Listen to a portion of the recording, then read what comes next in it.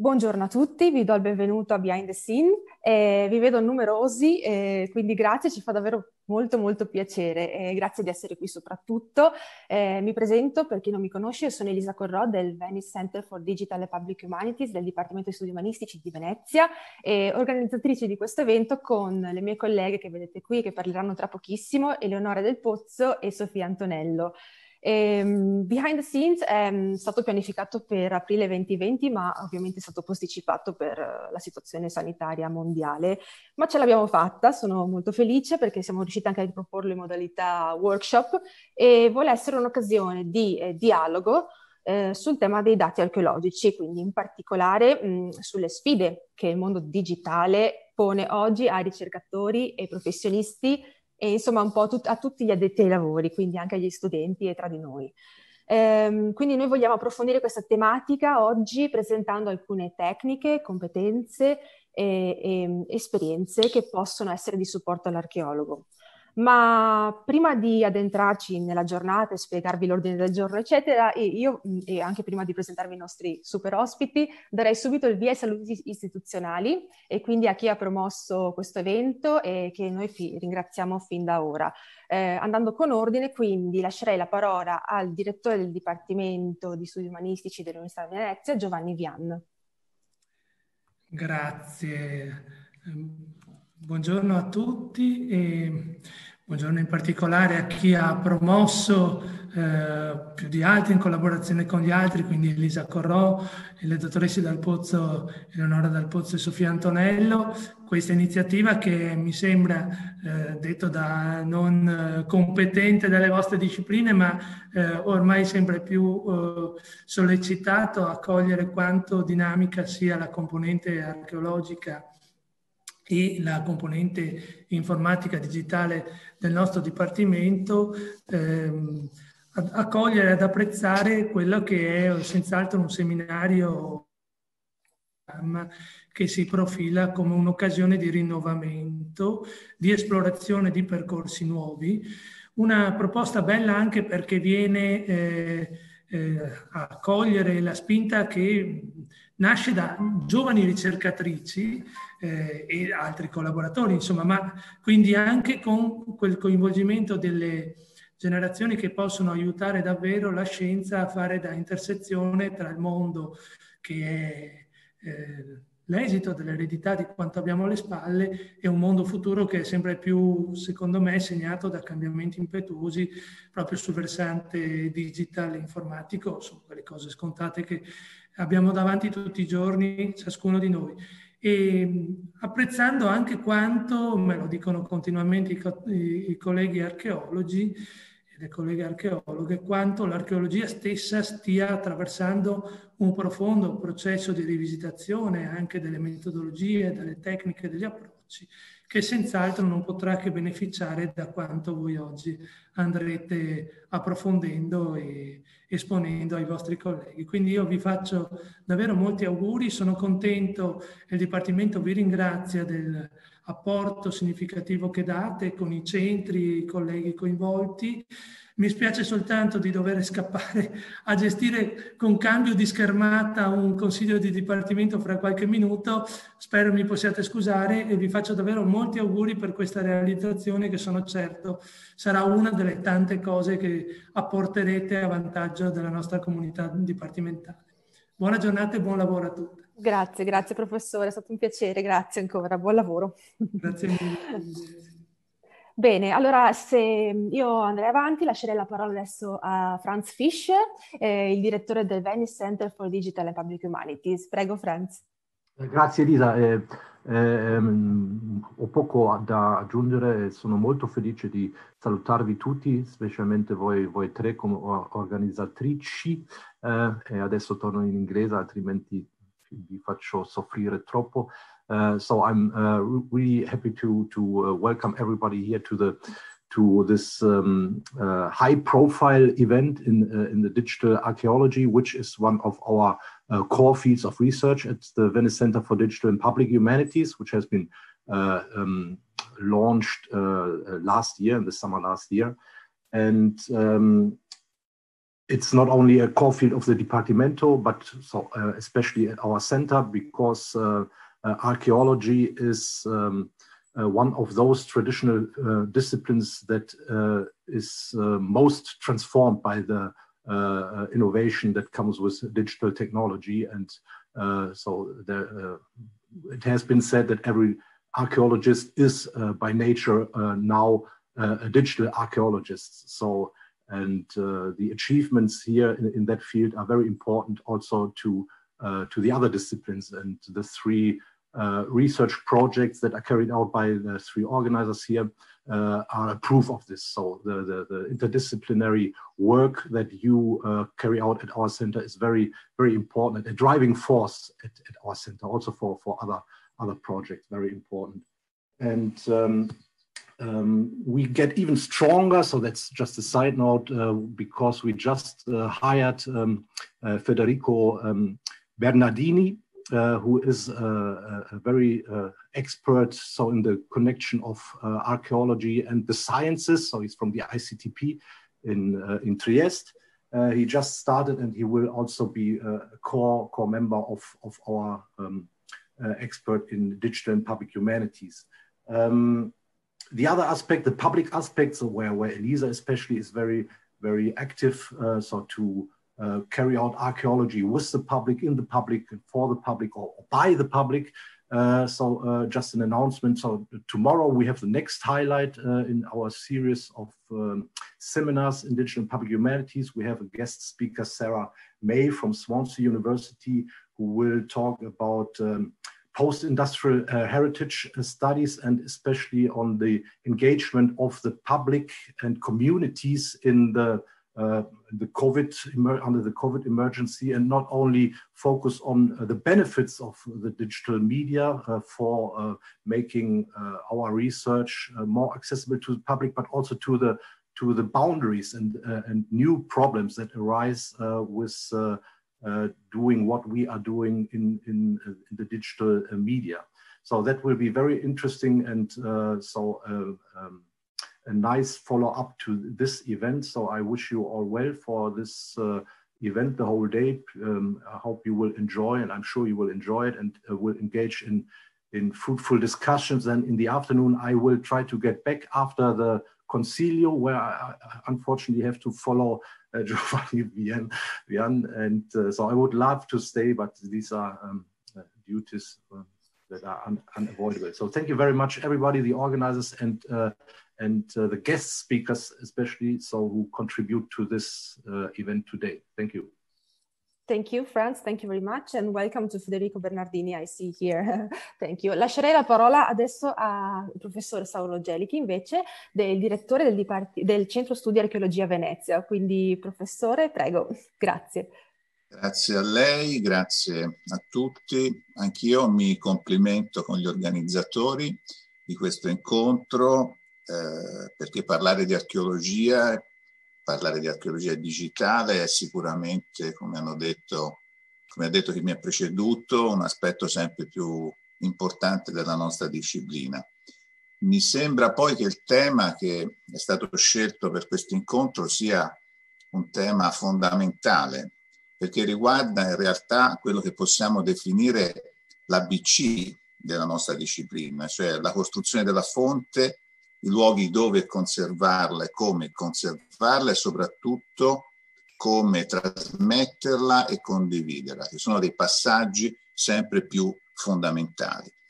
Come molti di noi sanno, chi pratica il nostro mestiere sa, questi passaggi hanno sicuramente delle implicazioni tecniche, oggi penso si parlerà molto anche di questo, però vorrei aggiungere che questi passaggi hanno anche delle implicazioni epistemologiche ed etiche molto profonde ed anche su questo sarà bene che gli archeologi riflettano compiutamente e apertamente. Eh, non so se i più giovani tra di noi sono ben consapevoli di questa situazione, eh, ma ancora oggi in molti ambienti si ha un'idea monopolistica dell'agire archeologico, come se la produzione della fonte e dunque la sua condivisione in un archivio pubblico, cartaceo, digitale, sia un passaggio legato sostanzialmente alla discrezionalità del singolo, una discrezionalità che spesso viene ritenuta legittima. La possibilità che oggi invece noi abbiamo di gestire e di condividere milioni di dati in tempo reale attraverso appunto gli strumenti digitali che possediamo sta direi lentamente finalmente scardinando questo sistema, se mi, mi permettete, feudale e un tempo si sarebbe detto anche antidemocratico, di gestire un bene pubblico. Per questo io penso sia fondamentale ragionare su come fare questo. E le molte esperienze che sono state praticate in questi ultimi anni e che in parte vengano anche presentate, mi sembra, in questa circostanza, vanno proprio in quella direzione. Io, anch'io, anche per questo motivo e soprattutto per questo motivo, vi ringrazio per quello che state facendo e vi invito a continuare a riflettere, a ragionare, a lavorare soprattutto perché, come dicevo in precedenza, un patrimonio pubblico, un bene pubblico sia un patrimonio davvero finalmente condiviso per il bene anche della ricerca archeologica, della stessa disciplina.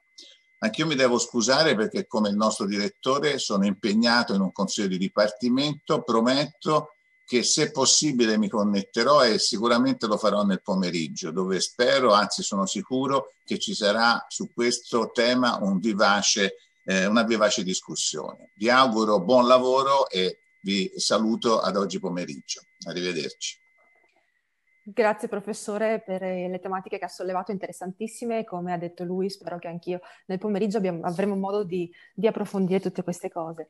Adesso lascio la parola al professor Sperti che è già pronto e il nostro coordinatore di dottorato. Prego professore. Sì, grazie, solo due parole dopo quello che è stato detto dal direttore Giovanni Vian, dal direttore del centro Franz Fischer e dal collega Sauro Gelli, solo per salutare eh, relatori e presenti naturalmente le tre organizzatrici di questo eh, workshop che è dedicato eh, sicuramente a un tema non banale, eh, appunto i rapporti diciamo behind the scenes, eh, come avete giustamente scritto, tra archeologia, strumenti e pratiche eh, digitali. Un workshop che è organizzato all'interno del, appunto, del Venice Center, eh, che abbiamo sentito non ha certo bisogno di presentazioni, da Sofia Antonello, Elisa Corrò e Eleonora Del Pozzo e vorrei sottolineare che Sofia Antonello ed Eleonora Del Pozzo sono, scusate, dottorande presso il nostro dottorato interateneo di scienze dell'antichità e che Elisa Corrò ha ottenuto qualche anno fa eh, il, il, dottorato, per cui eh, io parlo nelle vesti di coordinatore ancora per qualche ora in realtà, perché oggi ci sarà eh, proprio nel Consiglio eh, di dipartimento cui, a cui anch'io devo, devo, partecipare. Fra qualche minuto ci sarà un cambio, di, un cambio della guardia, ma però mi fa molto piacere che queste iniziative nascano anche in seno diciamo al dottorato, proprio a dimostrazione che la ricerca non si ferma e non rimane chiusa nelle biblioteche, ma coinvolge eh, attori diversi, istituzionali e privati e naturalmente anche un pubblico interessato. Eh, sul tema ha già parlato eh, Sauro Gelichi, beh, posso veramente aggiungere pochissimo da profano nella eh, breve presentazione eh, che le tre organizzatrici eh, hanno mostrato eh, si dice giustamente che è un tema che ormai da decenni eh, interessa diciamo, l'archeologia eh, certamente non soltanto italiana. Io non so se posso come dire, avanzare un'ipotesi sul, sul, certificato di nascita della, de, dell'archeologia digitale in Italia, ma secondo me, insomma, questo è un punto su cui sicuramente Sauro Gelichi ne sa di più, ma la nascita nel 1990 della rivista Archeologia eh, e Calcolatori, eh, che ha visto tra l'altro tra i protagonisti anche Riccardo Francovic, è veramente un momento, eh, direi, fondamentale. Sono passati 30 anni e sembra un secolo fa. E questa è la cosa eh, veramente impressionante che ci dimostra la, lo sviluppo eh, veramente vertiginoso di questi in tutti i campi di questa, di, di, di questa diciamo, come chiamarlo, insomma, da, dalla gestione dei dati di scava al GIS, per non citare che due degli aspetti diciamo, che sono eh, più noti.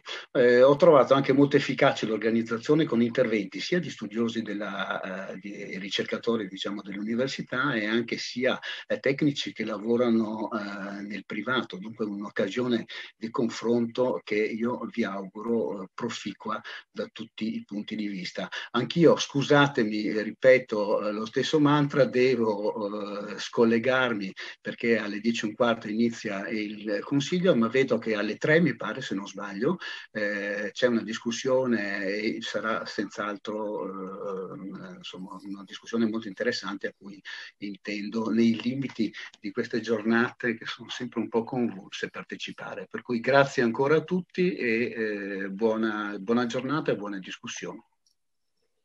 Grazie professore, grazie a tutti voi davvero per questa introduzione. E speriamo di vederci nel pomeriggio.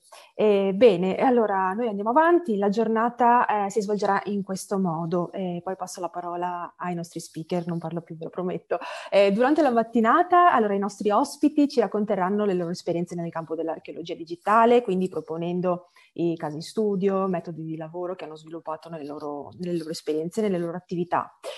Eh, il pomeriggio invece, come avrete già letto nel programma, sarà dedicato ad un momento di confronto, quindi di dialogo, speriamo soprattutto, durante il quale ognuno di noi potrà condividere le proprie esperienze eh, in merito proprio a queste tematiche che affronteremo nella mattinata. E l'obiettivo è proprio quello di ehm, offrire nuove prospettive, nuove prospettive, nuove idee, delle soluzioni nuove a quei problemi con cui l'archeologia si confronta, possiamo dire ormai quasi quotidianamente. C'è una piccola modifica al programma a causa di un imprevisto, ve lo dico subito. Eh, purtroppo non sarà possibile ascoltare il contributo di Giuseppe Naponiello, ma abbiamo comunque pensato ad un'alternativa e quindi iniziamo subito con l'intervento di Marianna Figuera, eh, a cui seguiranno Francesca Nichini e Gabriele Gattiglia e concluderà la mattinata Caterina Balletti, grazie Caterina, eh, dell'Università UAV di Venezia, con un contributo sulla geomatica in archeologia. Allora, bene, ci siamo. Lascerei la parola adesso alla nostra collega Sofia Antonello per presentare Marianna. Grazie. Grazie Elisa. Buongiorno a tutti. Sono molto contenta di presentarvi Marianna e, e anche di vederla finalmente. Solitamente ci vedevamo d'estate in, in scavo, quest'anno non è stato possibile.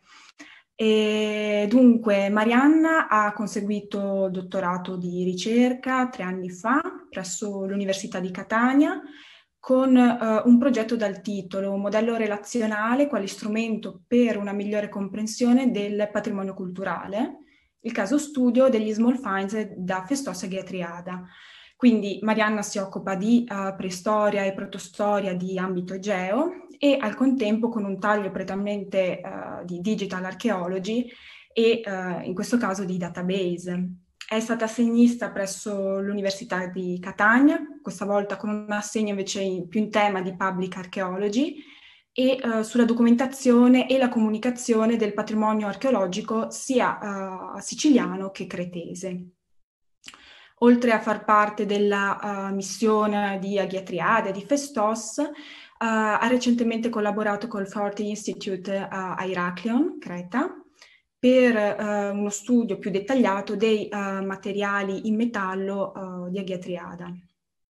E poi ho lasciato il meglio per ultimo, di recente pubblicazione, il suo libro sulla gestione, l'affidabilità e l'interpretazione dei dati archeologici. L'ambito è quindi quello dell'impiego del database, della fuzzy logic, dei legacy data e, uh, ed è questo il tema che affronterà in questo intervento, sono molto contenta di ascoltarla e quindi le, le lascio la parola adesso. Grazie, spero che mi sentiate. Sì, benissimo. Perfetto, va bene. Allora, innanzitutto eh, buongiorno a tutti, eh, grazie. Eh, vorrei ringraziare eh, ovviamente le organizzatrici di questo evento, Sofia Antonello, Eleonora Del Pozzo e Elisa Corrò ehm, e anche il professor Fischer per l'invito a partecipare a questo workshop. Eh, sono molto lieta di essere qui oggi con voi e di poter condividere con voi appunto quella che è la mia ricerca e quelle che sono le mie riflessioni nell'ambito appunto della, dei Digital Archaeological Data.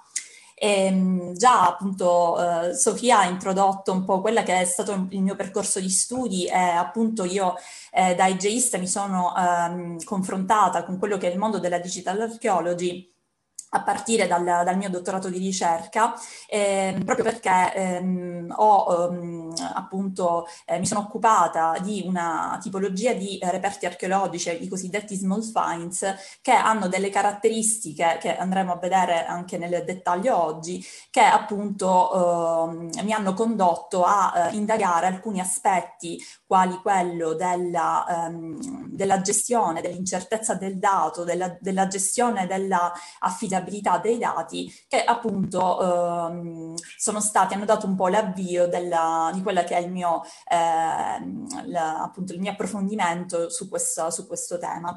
Vi provo a condividere intanto il, la mia presentazione.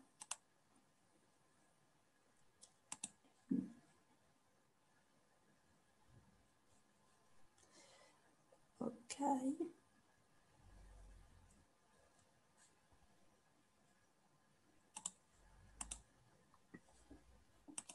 Perfetto. Mi date conferma che vedete? Immagino di sì. Sì, ecco qua, sì. Ok. Perfetto. Allora, eh, appunto, come, come, vi dicevo, oggi eh, la, il mio intervento è focalizzato proprio sui concetti di eh, legacy data e eh, sul eh, concetto di interpretazione e il mio intento è quello di proporre un possibile approccio per gestire l'affidabilità del, del dato archeologico.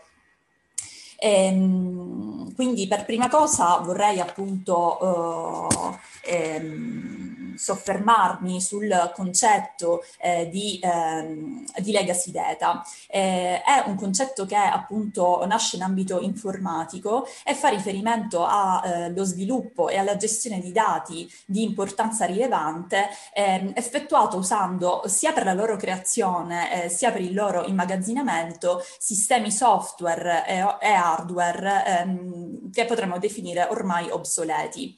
Così come in parallelo il termine legacy systems fa riferimento a tutti i vecchi metodi, sistemi, tecnologie, applicazioni che di fatto continuano ad essere utilizzati perché ehm, funzionano ancora per soddisfare le esigenze degli utenti, eh, anche se ehm, di fatto sono disponibili tecnologie più, re- più recenti e metodi più efficienti.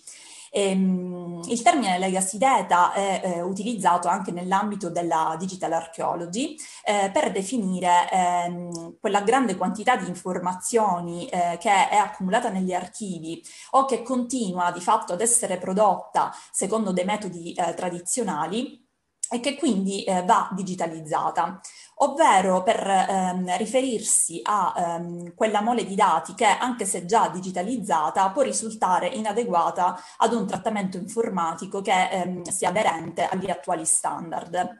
Eh, l'uso del termine legacy eh, comunque non deve necessariamente farci pensare a ehm, qualcosa di obsoleto, ehm, quindi non deve essere percepito per forza come tale. Si riferisce appunto in generale a tutte quelle fonti e a quei dati che se ancora non sono stati digitalizzati, prima di poter essere usati in un ambiente digitale, eh, devono essere in un certo qual modo preparati, potremmo dire, quindi eh, di fatto anche manipolati. Voi vedete che scorrono le slide, vero? No, eh, sei ancora alla, a quella iniziale. Ah, ok, perfetto, allora. Mi era sorto il dubbio, infatti. Pensavo che stessi descrivendo solo la prima. No, sì, vediamo no, solo no. la finestra di PowerPoint, per intenderci. Ok. okay. La con le slide allora. vicino. Infatti ho avuto questo dubbio. Un attimo. Perché nel momento in cui dai la condivisione dello schermo devi dare lo schermo intero e non solo la finestra. Sì. No, perché già mi è capitato in un'altra, in un'altra conferenza, quindi ho chiesto subito perché appunto oh, allora okay. sono in condivisione schermo. Um, vediamo un attimo.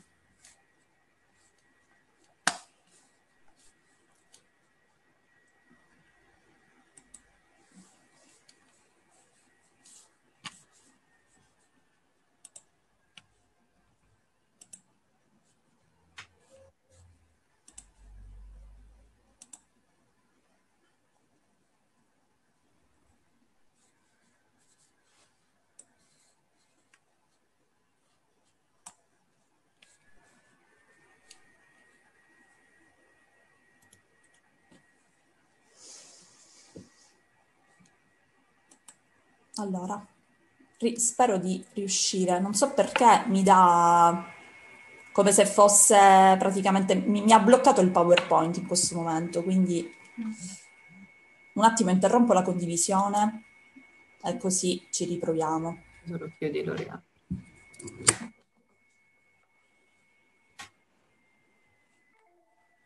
Allora.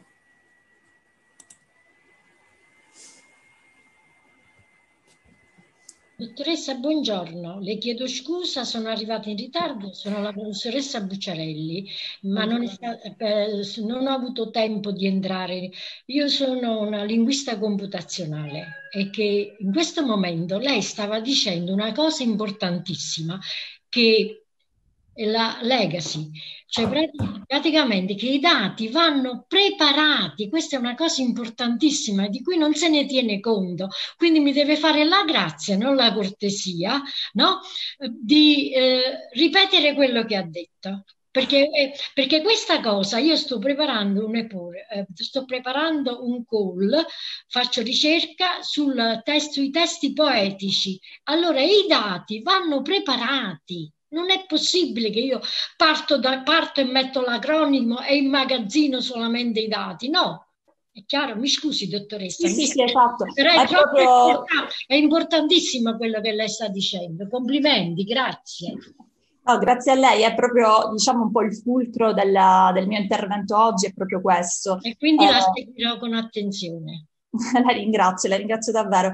Mi dispiace solo, spero che a breve riesca a condividere il mio schermo. È, per, purtroppo ho dovuto cambiare computer per un problema di webcam, come le organizzatrici sanno, e quindi va bene, sono gli intoppi delle presentazioni ormai. Bello della diretta. Esatto. come siamo abituati. Eh, sì, direi di sì. Spero a breve di riuscire. Mi dispiace per questa attesa poi la, la condivisione è bloccata con una sorta di... Sì. Ah, quindi non è colpa del mio computer, perché io vedo che sta andando in, in tilt, vedo tutte le immagini, ma io mi aspetto da, di tutto dal mio computer, però non vorrei perdere questa lezione, mi assicuri. Passerò magari all'altro computer. Io spero di farcela a breve. Comunque, intanto appunto eh, dicevamo, sì, sicuramente eh, il, um, il, fulcro appunto della, del mio intervento sono da una parte i legacy data, dall'altra appunto quello che è il concetto di interpretazione, quindi di come eh, di fatto il dato archeologico, che è quello di cui ci occupiamo naturalmente noi, ehm, può essere trattato in un ambiente digitale, ehm, diciamo tenendo in considerazione questo aspetto, quello appunto dell'interpretazione dell'interpretazione, quello appunto della, eh, dell'incertezza del, del dato. Allora, vediamo. Voi in ogni caso state vedendo quello che accade nel mio computer, immagino. Sì, sì. Ok, vabbè. Il computer che non è proprio mio. Ok, credo che ci siamo quasi. Di fatto, vabbè, ehm, appunto si è persa soltanto una slide che era eh, relativa alla, ai legacy data con una serie appunto di, uh, di, citazioni che vanno un po' da quello che è il, l'aspetto prettamente informatico. La vedete giusto adesso? Perfettamente. Prova ad andare avanti così vediamo se funziona. Ok, benissimo. Va bene, perfetto, ci siamo. Allora, dicevamo appunto che... Eh, nella, nella, nella, slide precedente ehm, mostravo semplicemente una serie di, eh, così, di, riferimenti bibliografici a quello che è il termine legacy, non soltanto in contesto eh, appunto della, di digital in generale, ma nello specifico, nel, nel nostro caso, nella digital archaeology. E, ehm, di fatto, oh, appunto, secondo la definizione che, eh, che abbiamo dato, eh, il, termine, eh, il, termine, legacy si riferisce quindi a tutti quelli che sono eh, i dati archeologici che comprendono da una parte naturalmente i dati grezzi, ehm, quindi i dati archeografici, e ehm, dall'altra anche tutti quei documenti e quindi quelli elaborati che derivano da uh, questi dati grezzi e naturalmente tutto quello che poi è il materiale anche edito. Eh, quindi si tratta di cosa? Di documentazione ehm, grafica, fotografica, di eh, rilievi, documenti che sono eh, redatti a mano, come possono essere i taccuini di scavo, ehm, gli inventari e poi tutto quello che è la, eh, la, serie di pubblicazioni, quindi dalle relazioni preliminari a tutto quello che possono essere gli articoli, le, i lavori monografici e così via. A questi si affiancano anche quei, for- quei eh, dati che sono in formato digitale e eh, che eh, sono stati archiviati, eh, potremmo dire, utilizzando sistemi informatici che possiamo definire, come abbiamo detto prima, obsoleti. Ehm, la pertinenza del termine legacy è eh, evidente perché da una parte si tratta di ehm, dati che hanno un valore documentario eh, essenziale, e dall'altra spesso oh, stiamo parlando di una mole di dati non indifferenti, soprattutto in quei casi in cui eh, diciamo che eh, io direi ci si scontra eh, con la documentazione relativa a eh, missioni archeologiche pluridecennali, come è, quello, eh, come il caso che eh, appunto mi, eh, ehm, mi, riguarda e che, di cui parleremo oggi. Ehm, innanzitutto però va fatta una distinzione, direi doverosa, tra ehm, quello che è il concetto di dato e quello che è il concetto di ehm, documento, quindi tra dato grezzo e la sua elaborazione.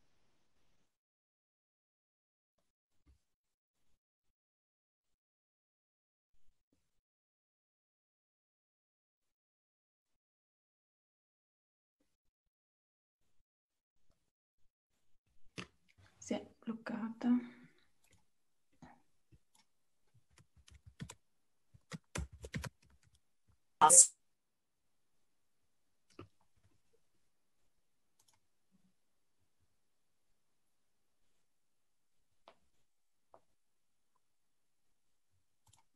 Vediamo se riesce a... Sì. Ecco. È caduta la connessione. Sì, fa, si fa prima a uscire e mm. rientrare quando succedono queste cose. Eccola qui. Ci siamo? Sì, ti abbiamo perso. Per... Ah, sì? ah no, io non me ne sono nemmeno accorta. Ok, bene, perfetto. ok, quindi dicevo eh, appunto che ehm, appunto tutti quelli che noi possiamo definire dati archeografici che appunto oh, di fatto sono oh, i cosiddetti dati primari.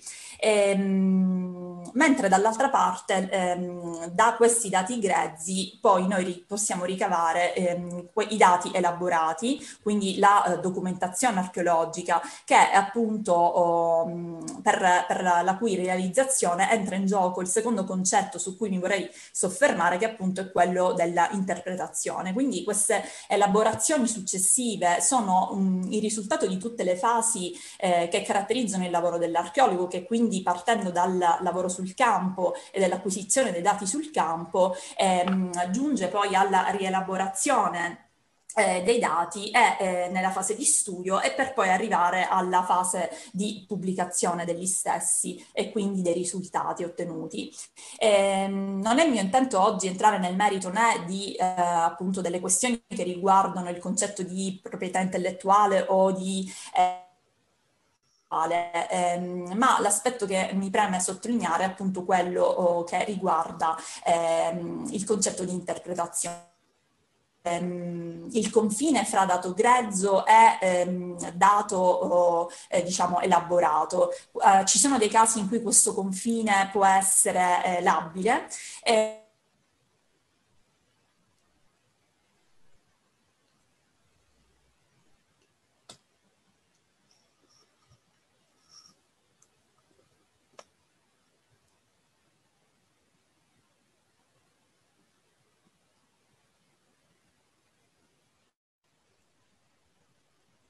Purtroppo oggi non è la, la, la linea, forse è un pochino, un pochino così. Ci riproviamo. Ti aspettiamo, Marianna.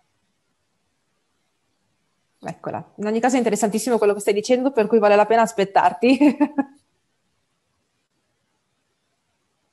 Il microfono, per favore.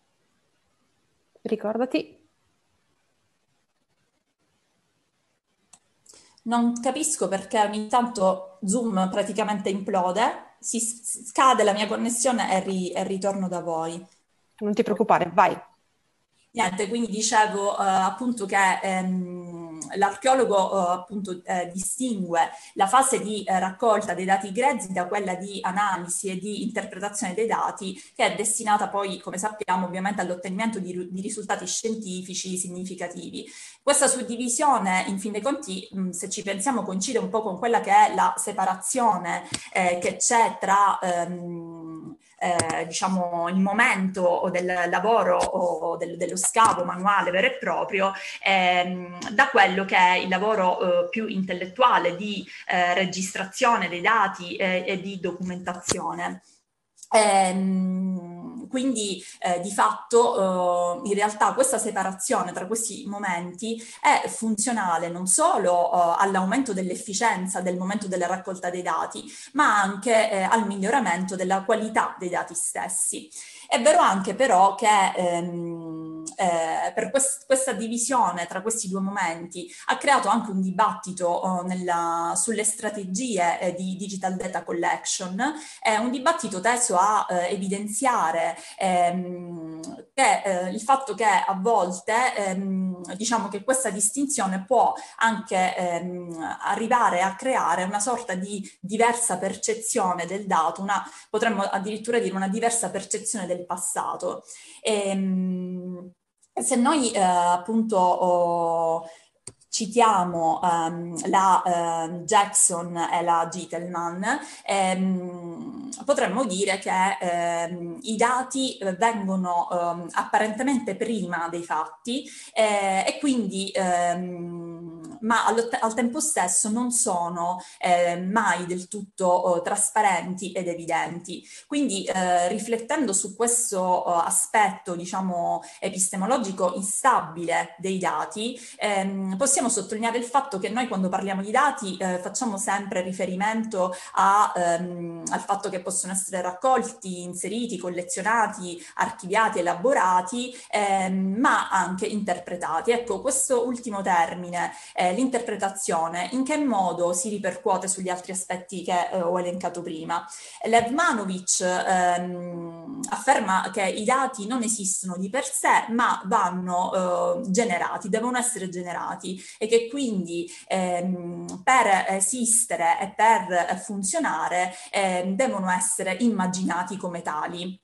Pertanto l'immaginazione dei dati implica una base interpretativa. Volendo portare un po' all'estremo questa eh, interpretazione, potremmo dire che la raccolta e la gestione dei dati ne presuppone l'interpretazione. E, ehm, nel, nel, trattamento delle, delle, fonte, delle fonti archeologiche, ehm, in ogni caso, ehm, a parte preservare l'origine dell'informazione, spesso diventa ehm, molto difficile anche riuscire a valutare l'affidabilità del dato. E, ehm, spesso le informazioni archeologiche sono strettamente legate all'atto oh, interpretativo del singolo ricercatore. Ehm, noi sappiamo anche che le, le stesse eh, proprietà materiali di un manufatto ehm, sono sottoposte ad una continua eh, rinegoziazione, non soltanto perché ehm, ci sono dei cambiamenti intenzionali eh, che ehm, diciamo, riguardano l'oggetto in sé, ma anche perché ehm, quando l'oggetto viene classificato ehm, e viene quindi interpretato, ehm, appunto passa per quella che è l'atto interpretativo di chi lo studia, di chi ehm, si eh, indaga su di esso, quindi in ultima istanza eh, dell'archeologo. E in questo senso è possibile addirittura sostenere che un oggetto può divenire addirittura qualcosa di altro rispetto a quello che era stato in origine perché appunto è filtrato dall'atto interpretativo stesso. Ehm, anche una serie di attività come ehm, appunto la redazione delle schede sui reperti mobili rinvenuti in uno scavo, eh, la, le, le, rilevazioni grafiche e fotografiche, che sono una serie di attività che hanno un carattere soltanto apparentemente compilativo, ma che sicuramente sono ehm, il più possibile attività di tipo oggettivo e anche di, potremmo dire, tecnico, in, seco- in un secondo momento finiscono per confluire in quella, uh, nella redazione, ad esempio, dei giornali di scavo e nelle relazioni eh, appunto anche conclusive, eh, nelle quali eh, i margini di soggettività aumentano. Eh, quindi eh, diciamo che la componente, potremmo definirla autoriale e, quindi quella soggettiva, entra in gioco già a partire da, eh, dal momento in cui si produce una, mh, anche una eh, il più possibile dettagliata e scientifica documentazione di quello che è stato rinvenuto. Inoltre ehm, spesso l'archeologo è costretto a ehm, trovarsi di fronte a un altro problema che ehm, si affianca al problema interpretativo, che è quello della, dell'incertezza. E, ehm, spesso l'archeologo è costretto a eh, di fatto eh, lavorare con una serie di dati che sono accompagnati da un punto interrogativo. Ehm, la necessità di eh, chiarire i criteri di una buona ehm, gestione dei dati è eh, percepita non soltanto eh, da chi pubblica e da chi conserva i dati, ma anche dagli utenti, quindi da chi ne usufruisce. In questo senso oh, ci sono stati una serie di ehm, dibattiti eh, internazionali che hanno portato a ehm, creare una serie di standard ehm, per far sì che il materiale scientifico possa essere sia eh, trovato sia citato in maniera eh, diciamo coerente e, ehm, e, possa essere appunto trovato in maniera più semplice. Da, mh, da, questi, da questi, principi sono nati i cosiddetti FAIR Principles che eh, appunto oh, definiscono regole per depositare, per esplorare, per condividere e per utilizzare i dati, focalizzandosi su quelle che sono le loro capacità di essere findable, accessible, interoperable and reusable.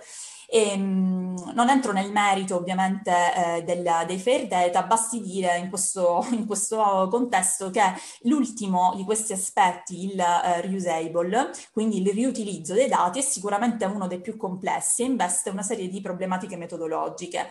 E, ehm, per riuso noi possiamo intendere sia un eh, riuso diretto di un dato, di un'informazione, o il frazionamento oh, dei dati riutilizzandoli poi in contesti differenti.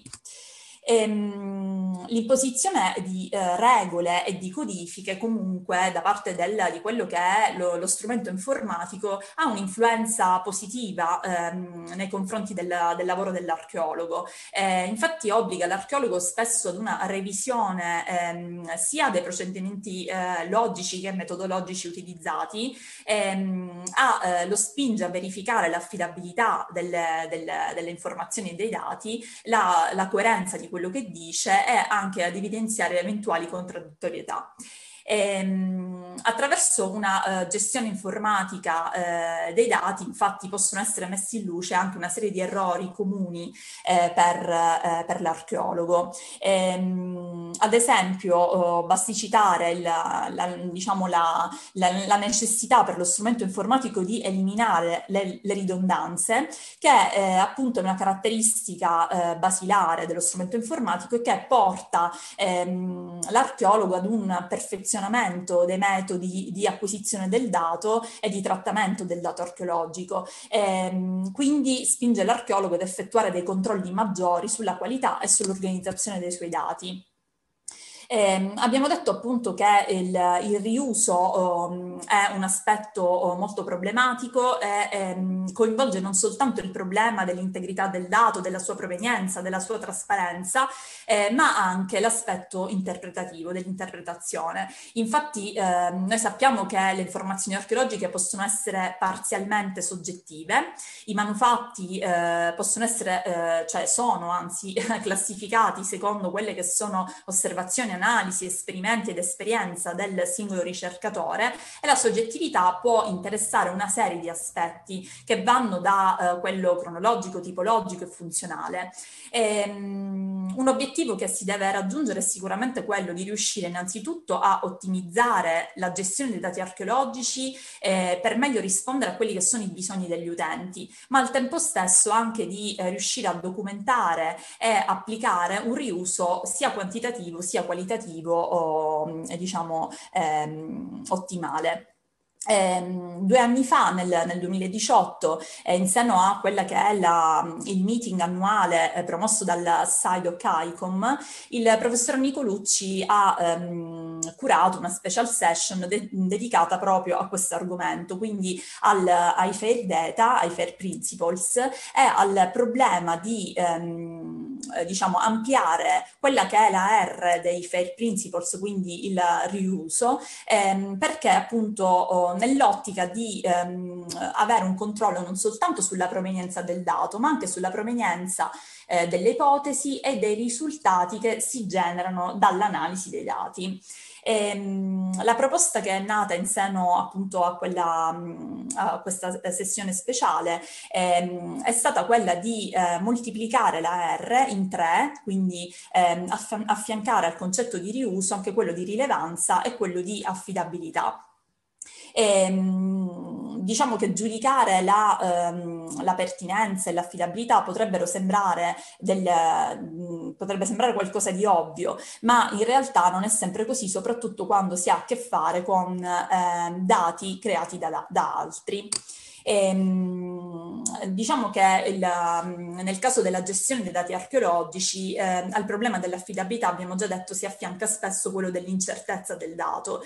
Ehm, all'interno di eh, uno strumento informatico oh, rigido è inevitabile praticamente alterare quella che è eh, l'informazione incerta trasformandola necessariamente in un uh, dato certo. Ehm, la classificazione del dato archeologico è quindi praticamente ancorata a quello che è eh, la logica duale eh, di ascendenza booleana in cui la, la lettura dell'informazione classicamente è o, o, true o false, quindi associata a un valore numerico che è appunto o l'1 o lo 0. Ehm, all'interno di un sistema di gestione dei dati, quindi di tipo eh, tradizionale, le informazioni ambigue finiscono per essere trattate praticamente in maniera arbitraria e si è costretti a eh, mettere in gioco una serie di semplificazioni che alla fine possono mh, praticamente alterare anche l'interpretazione finale del dato. E, ehm, questo cosa comporta? Comporta sicuramente il fatto che la eh, variabilità del dato archeologico finisce per essere annullata e ehm, l'informazione una volta che viene archiviata diviene inevitabilmente certa. Eh, per riuscire a preservare invece un grado di eh, probabilità è fondamentale che lo strumento informatico ehm, abbracci un concetto di flessibilità. Ehm, in particolare faccio riferimento anche a tutti quegli strumenti informatici che si occupano di classificazione tipologica e che si basano sull'idea che un oggetto ha delle determinate attributi, delle determinate caratteristiche che lo definiscono come un ben preciso tipo. Mentre, ehm, come sottolineano anche Hermon e Nicolucci, in realtà non esistono dei criteri fissi di tipicità. Eh, la realtà è sempre molto più complessa e difficilmente è possibile inquadrare un dato all'interno di categorie eh, schematizzate senza rischiare di semplificarla eh, eccessivamente. Una delle possibilità eh, che ehm, la, mh, la gest- per, per, gestire questi aspetti è data dal cosiddetto fuzzy method.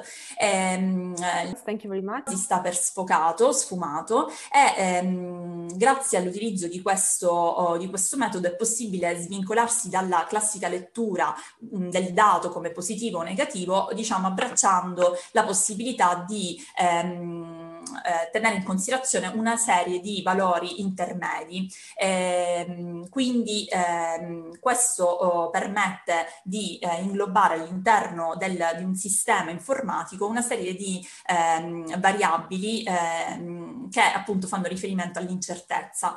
e questo come accade? Utilizzando oh, un dato matematico eh, che praticamente ehm, eh, appunto è mh, caratterizzato dall'utilizzo di valori decimali che sono compresi tra lo 0 e l'1 di cui abbiamo parlato prima, quindi il falso e il vero di ascendenza booleana, quindi una serie di eh, valori numerici decimali a ognuno dei quali viene associato un, eh, un termine. In altre parole possiamo dire che il, il, metodo Fuzzy praticamente è in grado di eh, codificare l'incertezza. Ehm, in ambito archeologico ha avuto oh, diverse ehm, appunto applicazioni a partire dagli anni 90, ovviamente non mi soffermo qui, eh, ho messo un po' una carellata di quelli che sono i progetti e le pubblicazioni principali che hanno trattato appunto della, dell'applicazione del metodo FASI in archeologia, basti dire che ehm, appunto è stato utilizzato nell'ambito della classificazione dei materiali o ancora eh, per gestire problemi di cronologia incerta, ad esempio. Ehm, ma eh, appunto oh, come ehm, nell'ambito che mi riguarda, che è quello della classificazione dei materiali, come la logica Fuzzy eh, può essere applicata eh, di fatto viene, può essere applicata quando eh, si ha una, ehm, diciamo, le informazioni che si possiedono non permettono di ehm, definire un oggetto all'interno di una categoria tipologica ben precisa, oppure quando le stesse categorie tipologiche hanno i contorni un po' sfumati. Ehm, di fatto oh, il metodo Fuzzy può essere utilizzato per gestire due diverse categorie di dati o oh, delle mh, cosiddette etichette, quindi dei valori prestabiliti come quello tipologico oppure del maschio-femmina, ehm, ovvero per gestire eh, dati eh, numerici come ad esempio quello della cronologia o, o appunto eh, quello dell'età del defunto. Nel caso che mi riguarda l'ho utilizzato appunto per gestire dei concetti, e in particolare quello della tipologia, e ehm, di fatto cosa entra in gioco? Il concetto di probabilità di appartenenza ad una data tipologia. Se noi guardiamo la, la prima tabella a sinistra, eh, appunto vediamo che secondo l'approccio tradizionale eh, ogni reperto può essere ehm, classificato e associato a una sola tipologia, eh, per cui vedremo il valore 1 presente soltanto eh, in un uh, tipo e per tutti gli altri avremo il valore 0, quindi falso. L'approccio uh, Fuzzy eh, appunto procede in una maniera del tutto differente. Per ogni reperto si valuta la possibilità di appartenenza ad, una, uh, ad ogni categoria tipologica, quindi noi possiamo vedere ad esempio che il reperto 1 ha uno 0,6 che appunto ehm, vedremo che ehm, la scala di valori viene scelta a priori, quindi eh, abbiamo una uh, scala di valori valori eh, che poi vedremo come può essere appunto scelta. In questo caso ad esempio 0,6 equivarrà a molto probabile, mentre 0,2 poco probabile,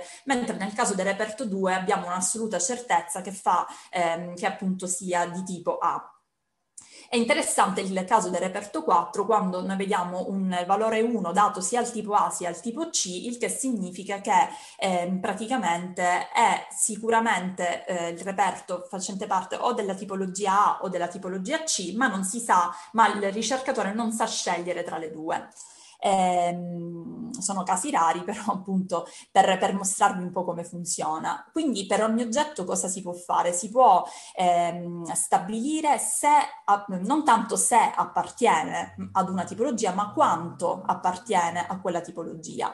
Ehm, vedremo appunto che ehm, la, la, scala di valori ehm, a cui ehm, corrispondono questi valori eh, decimali numerici eh, viene ehm, stabilita a priori. Ci sono ovviamente eh, diverse variabili che eh, cambiano da caso a caso per eh, gestire questa scala di valori. In generale noi possiamo dire che ci si avvale comunque eh, di un approccio sì soggettivo ma non arbitrario all'incertezza citando eh, dei finetti. Ehm, partendo da questi valori è possibile poi ca- calcolare quello che è stato chiamato eh, indice di attendibilità dell'attribuzione eh, che appunto oh, si ottiene con la formula proposta eh, già nel 2003 da Hermon e Nicolucci e eh, questa formula fa sì che questo indice sia pari a zero quando oh, tutti i coefficienti sono nulli, quindi sicuramente eh, vi è una assegnazione del tutto impossibile ed è pari ad 1 quando l'assegnazione è, cer- è sicuramente ehm, attendibile, quindi certa al 100%. Ovviamente tutti quelli che sono i gradi tra 0 e 1 1, quindi tutti i valori decimali, saranno eh, indici di attendibilità intermedi di questa attribuzione. E, ehm, allora, eh, nello specifico la, la, scelta di applicare eh, questo metodo nel mio caso studio è stata dettata appunto eh, da quelle che sono le caratteristiche dei reperti con cui eh, mi sono dovuta confrontare, che sono appunto oh, i cosiddetti small finds, che sono dei reperti ehm, considerati minori e ehm, non sono diagnostici per cronologia e, e per funzione, eh, in quanto sono oh, spesso polifunzionali, eh, utilizzati in uh, molteplici contesti di tipo domestico, rituale, liturgico, ma soprattutto in contesti di tipo artigianale e produttivo. Ehm, per, proprio per la loro, oh, loro, essere non diagnostici da un punto di vista soprattutto cronologico, eh, il loro potenziale informativo è stato eh, sottovalutato in passato e eh, questo ha portato ovviamente a, un, um, a una serie di problemi nella loro ovviamente documentazione. E diciamo che ormai è in atto una, uh, un'analisi critica di queste categorie di, di, di, manufatti che sta portando alla consapevolezza che gli small finds in realtà sono eh, portatori di un uh, significato, sono, dei, ehm, sono, degli oggetti che permettono di eh, approfondire e di conoscere il passato, qualora però uh, si conosca ovviamente, venga, venga compreso bene il contesto di rinvenimento e eh, gli ambiti sociali in cui operavano. Eh, quindi eh, diciamo c'è una maggiore apertura, ma sicuramente eh, nel, diciamo già da diversi anni nei confronti di questa categoria di reperti, ma sicuramente quando ci si confronta con le vecchie fonti eh, si hanno davanti una serie di problematiche. Nel mio caso appunto ehm, mi sono occupata degli small finds provenienti dai due siti di Festosse e dagli Atriadi a, a, a Creta.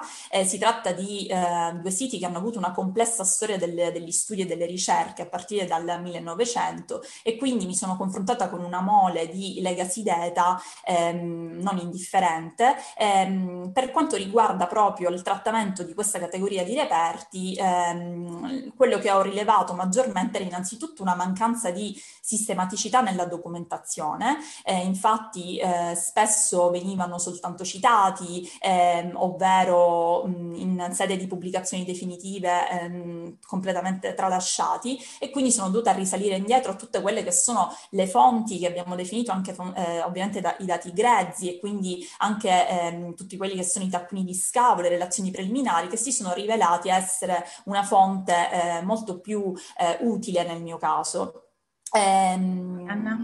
Sì? Riesci a stringere un pochino? Non so quanto ti manca ancora. Eh, sì, va bene, vado un po' più veloce allora. Grazie, eh, scusa. No, no, no, non vi preoccupate. Allora, ehm, uno del, del, dei problemi principali con cui mi sono dovuta confrontare appunto è stato la molteplicità delle fonti e la molteplicità delle attribuzioni funzionali e tipologiche. Qui appunto ho messo alcuni numeri per farvi vedere il numero dei reperti 1221 da Festos, 626 da Ietrada, il numero delle fonti e delle attribuzioni tipologiche per ognuno di essi.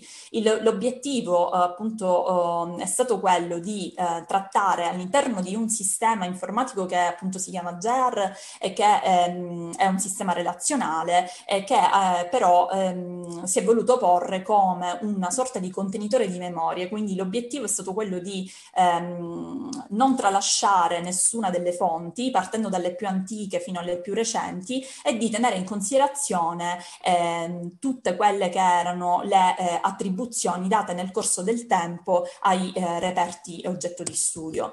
E, ehm, ritornando a quello che abbiamo detto prima, appunto ho utilizzato, eh, ho avuto eh, l'onore di partecipare alla special session di cui vi dicevo e, e quindi ho ehm, sviluppato quelli che sono i due concetti di rilevanza e di affidabilità. Eh, in che senso? Ehm, appunto approfondendo il concetto di rilevanza delle fonti, tenendo in considerazione tutte quelle che sono ehm, le loro tipologie e le loro caratteristiche chiave, mentre per quanto riguarda l'affidabilità eh, mi sono occupata dell'affidabilità dell'attribuzione tipologica e funzionale dei reperti perché, come dicevo, sono appunto gli aspetti più problematici eh, inerenti agli small finds.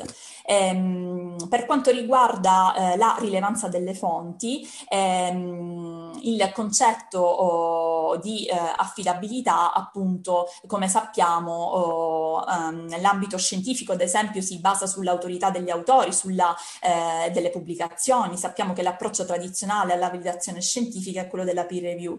Eh, nel mio caso ho um, appunto i parametri che ho scelto sono stati quello della recensionalità della fonte, dell'autorevolezza scientifica eh, delle affermazioni che viene desunta eh, dai dati scientifici, dai dati scientifici e dalle analisi ehm, di dettaglio messe a supporto dei dati, il grado di certezza espresso all'interno oh, della stessa attribuzione dallo stesso autore e la coerenza ovviamente con precedenti interpretazioni. Quindi ehm, all'interno del sistema GER ehm, ehm, abbiamo appunto innanzitutto un eh, archivio che si occupa eh, della, eh, dei, dei ehm, eh, appunto ehm, dei gradi di appartenenza, eh, erano quelli che dicevo prima, quindi le scale di valori che sono oh, appunto oh, dei numeri decimali affiancati a una serie di etichette. E in questo senso vorrei appunto eh, sottolineare il fatto che si tratta di ehm, scale di valori implementabili diciamo all'infinito, quindi il ricercatore, il singolo ricercatore può in base al caso studio anche modularle eh, nel modo che crede più opportuno.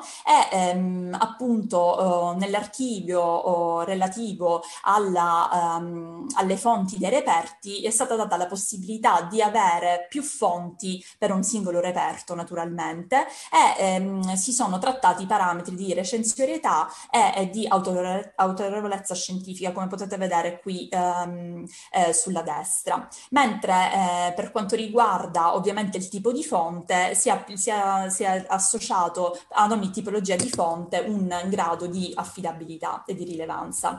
Ehm, e questo stesso procedimento è stato, ehm, è stato appunto applicato alla affidabilità delle stesse attribuzioni tipologiche e funzionali e di fatto eh, da questo eh, lavoro sono scaturiti una serie di coefficienti fazzi e di indici per la gestione delle fonti. E, ehm, di fatto appunto applicando quello che è la, la, la, formula matematica che abbiamo visto prima, eh, quindi l'indice di attendibilità eh, delle attribuzioni del reperto, è possibile poi anche ehm, riuscire a eh, ehm, stabilire un coefficiente di eh, affidabilità dello stesso enunciato.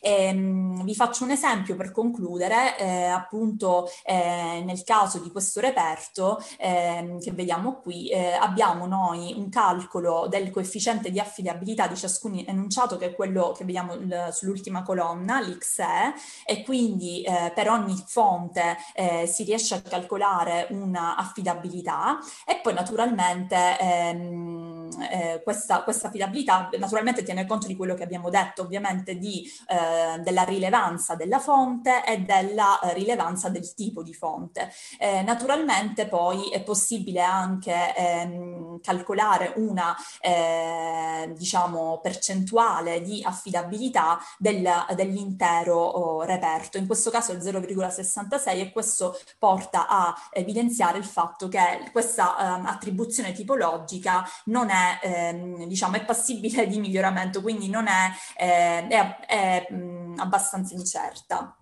E, ehm, naturalmente questo poi porta a ehm, riuscire a ehm, confrontare i reperti fra loro, ad avere una, frequen- una a calcolare una frequenza percentuale anche per tipologia, come vediamo in questo caso, e ehm, appunto per concludere ehm, vorrei sottolineare appunto quali possono essere eh, i, eh, i, vantaggi di eh, questo approccio. Sicuramente eh, non si tratta di una quantificazione astratta, né tantomeno di un esercizio puramente teorico, ma ehm, si tratta di un procedimento logico che ehm, è eh, messo in atto per cercare di incorporare all'interno del dato numerico e quindi eh, del dato eh, trattato all'interno di uno strumento informatico quella che è il concetto di incertezza che abbiamo visto è insito nella, nel dato archeologico.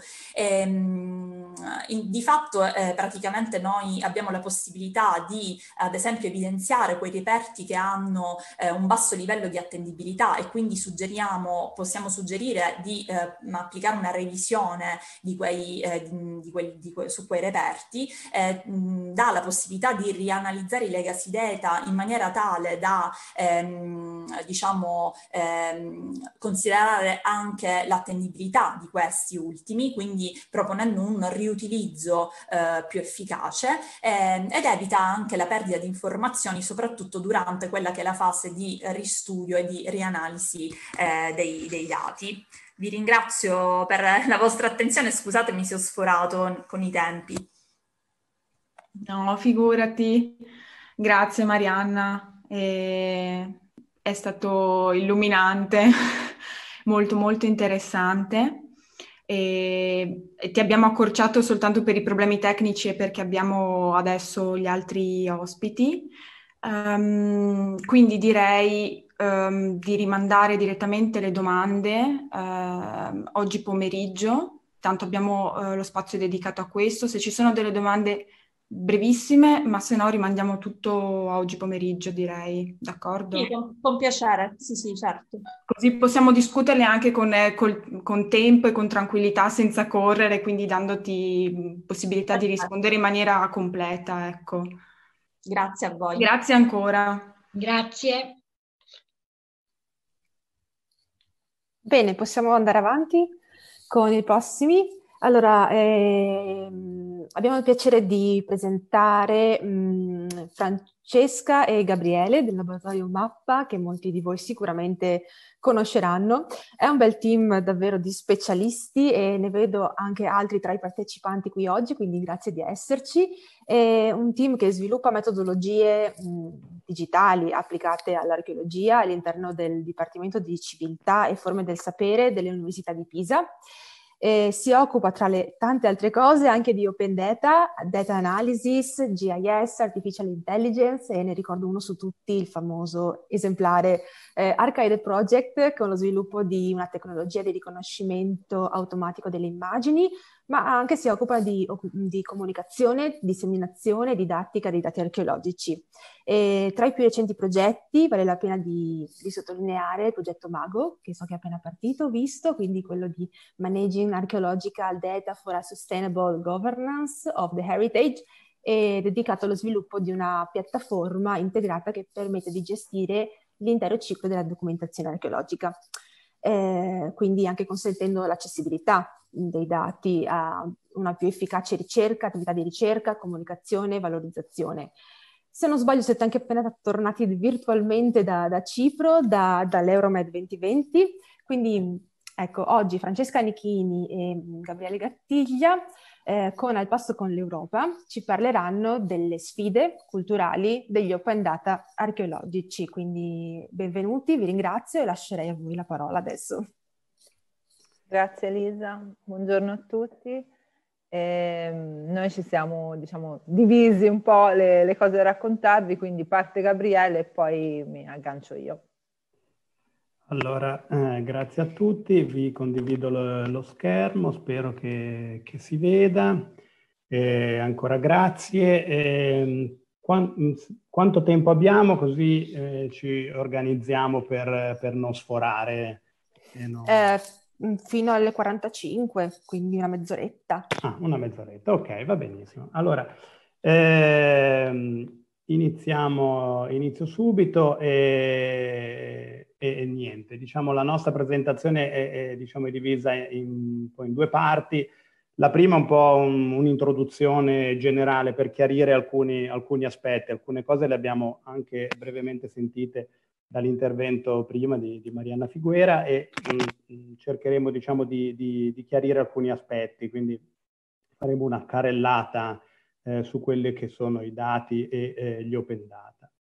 Noi appunto lavoriamo al, al, laboratorio, al laboratorio, Mappa, eh, ci ha già presentato Elisa, quindi non, eh, non, mi dilungo, non, mi dilungo, su questo. Eh, dico soltanto che eh, da ormai cinque anni eh, l'Università di Pisa ha un corso di eh, archeologia digitale che è un corso eh, che eh, intende la, l'archeologia digitale come archeologia dei dati.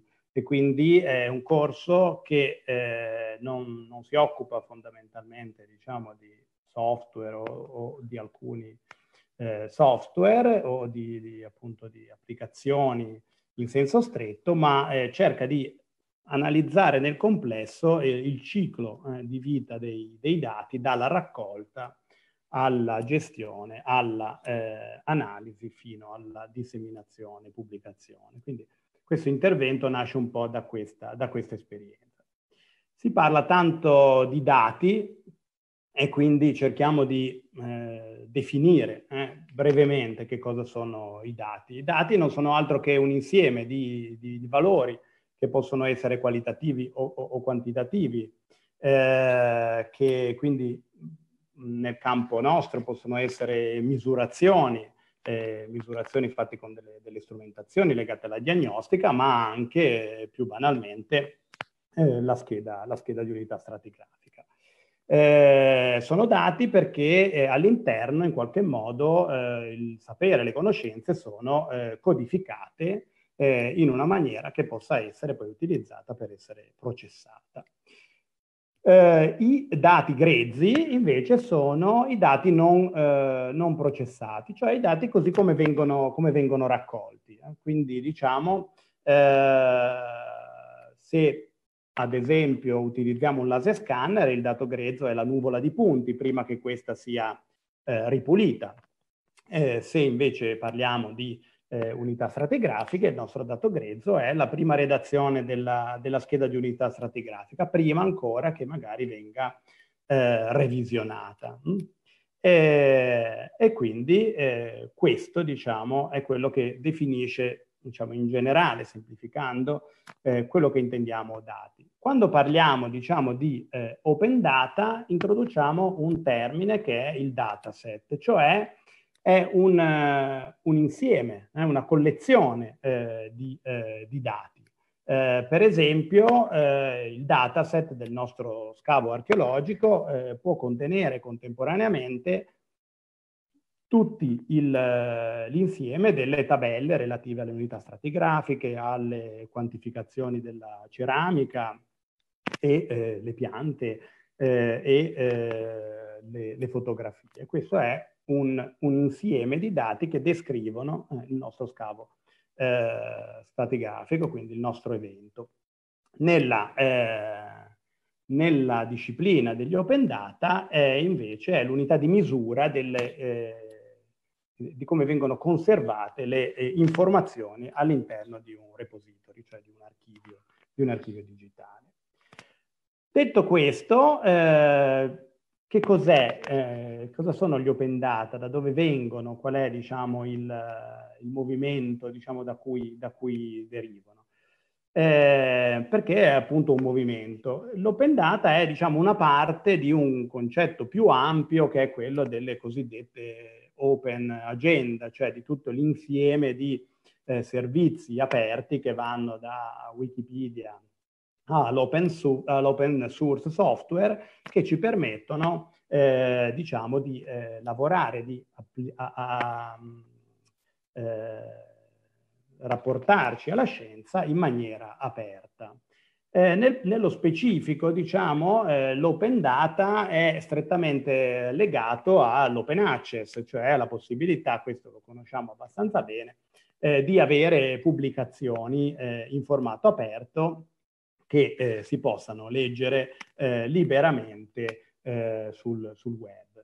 E quindi diciamo da questa eh, idea no, di avere diciamo, le informazioni, quindi le informazioni già interpretate, nasce l'idea di avere anche i dati che eh, stanno alla base di queste informazioni eh, perché poi appunto l'interpretazione eh, può essere diversa partendo dagli stessi dati e quindi è importante sempre poter risalire alla, alla fonte. Che cos'è in generale l'idea di open data? È, è, un dato che è appunto aperto. Aperto vuol dire che gli possiamo fare fondamentalmente quello che vogliamo, cioè siamo liberi di utilizzarlo, riutilizzarlo e ridistribuirlo, mm, quindi riversarlo nuovamente eh, in, in, re, in, rete, eh, fondamentalmente chiedendo al massimo due cose. Eh, che eh, venga citato chi ha creato questi dati o eh, che questi dati nuovi vengano di nuovo condivisi come eh, dati aperti, ma su questo eh, ritorneremo poi brevemente. Quindi l'importante è che il dato aperto è un dato che io ne posso fare quello che voglio. Diceva prima eh, chi ci ha preceduto, eh, lo posso sezionare, lo posso dividere, lo posso riaggregare, che poi è l'importante di avere dei dati aperti, ad altri set di dati.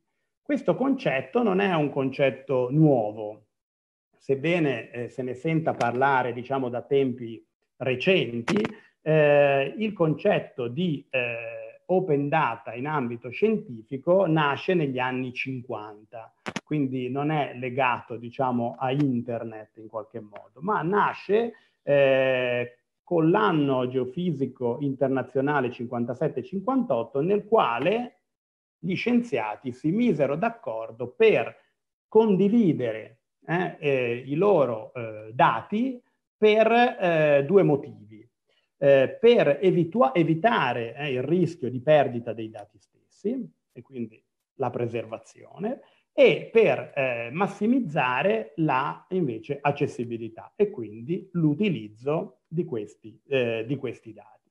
Nel 1965 si aggiunse una, un fattore in più. I dati che venivano conservati dovevano essere machine readable, cioè immediatamente leggibili eh, da una macchina? Mm, da un computer, quindi con dei formati che fossero processabili immediatamente. È sicuramente eh, di, eh, diventato eh, di moda eh, eh, a partire dagli anni 2000, quando diciamo, siamo stati bombardati da questo concetto degli open data. Neil Krauss, che era la alla, alla Commissione europea come commissario per l'innovazione diceva che erano il nuovo petrolio. Ora, petrolio è un paragone che non ci piace, eh, però questo era per dire che potevano essere fonte, eh, fonte di, eh, di, ricchezza e di sviluppo. Quindi nel 2004 eh, eh, l'Organizzazione per lo sviluppo e la cooperazione economica eh, decide che tutti i dati che sono stati eh, creati attraverso finanziamenti pubblici dovrebbero essere pubblicamente eh, disponibili.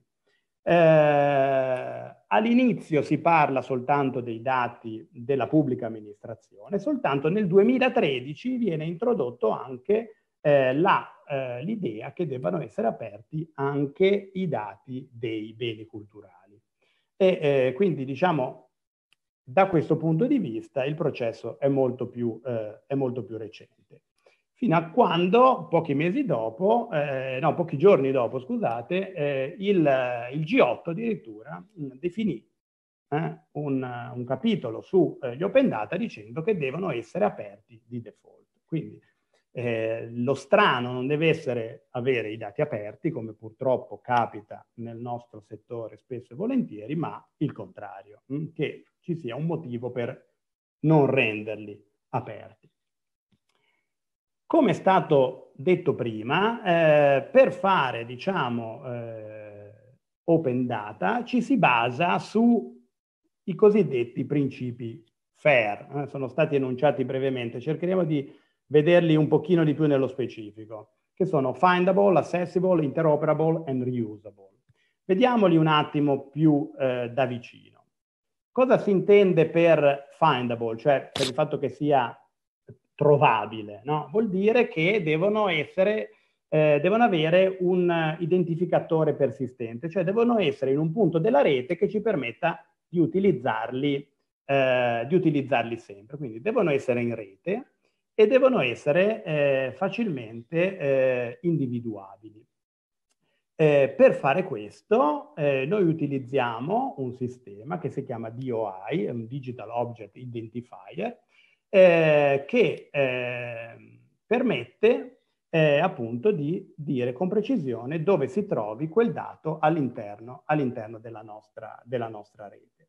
L'altro eh, elemento è che abbiano dei metadati, dei metadati ricchi, pieni di informazioni. Ma che cosa sono i metadati? I metadati sono fondamentalmente come le etichette sulle, eh, eh, sui barattoli. Eh. Se noi abbiamo due barattoli, in uno c'è il sale, l'altro c'è il, eh, lo zucchero, o lo assaggiamo o ci sbagliamo, che è peggio, e mettiamo il sale nel caffè, eh, però se avessimo un'etichetta mh, mm, ci eh, descriverebbero immediatamente che cosa, che cosa, c'è dentro. E cioè i metadati eh, sono in genere definiti come i dati che parlano di dati, ma in realtà sono la descrizione del contenuto. E sono fondamentali perché ci permettono di dire tantissime cose su questi dati, che cosa sono, eh, quando sono stati raccolti, da chi. Eh, ri- ricollegandoci anche a quanto detto prima, possiamo anche esprimere le metodologie con cui sono stati raccolti e quindi anche eh, poter cercare di decifrare eh, l'accuratezza con il quale sono stati eh, raccolti e quindi eh, che cosa poi ne possiamo effettivamente, effettivamente eh, fare. Quindi i metadati sono fondamentali quando parliamo di dati. Non ci interessa solo il dato in sé, ma anche la descrizione del dato. Per farlo abbiamo molti metodi, il più famoso diciamo è il cosiddetto Dublin Core, che è un sistema che eh, è molto eh, elastico e utilizzando semplicemente 15 elementi ci permette di descrivere al meglio eh, i dati. Nasce da Dublin nell'Ohio, non da Dublin in Irlanda, e nasce dai bibliotecari Qua avete un esempio di come, si, come può essere descritta la Divina Commedia, però può essere applicata a qualsiasi, a qualsiasi cosa. È una struttura non gerarchica estremamente flessibile. Abbiamo detto che la seconda lettera è la I, eh, interoperabili. Cosa vuol dire? Vuol dire che per essere interoperabili devono avere delle caratteristiche che permettano di dialogare con altri dati. E quali sono, diciamo, queste eh, queste, queste, caratteristiche. Sono eh, quelle eh, legate, diciamo, ai, eh, ai formati e, eh, agli, eh, e agli, agli, standard.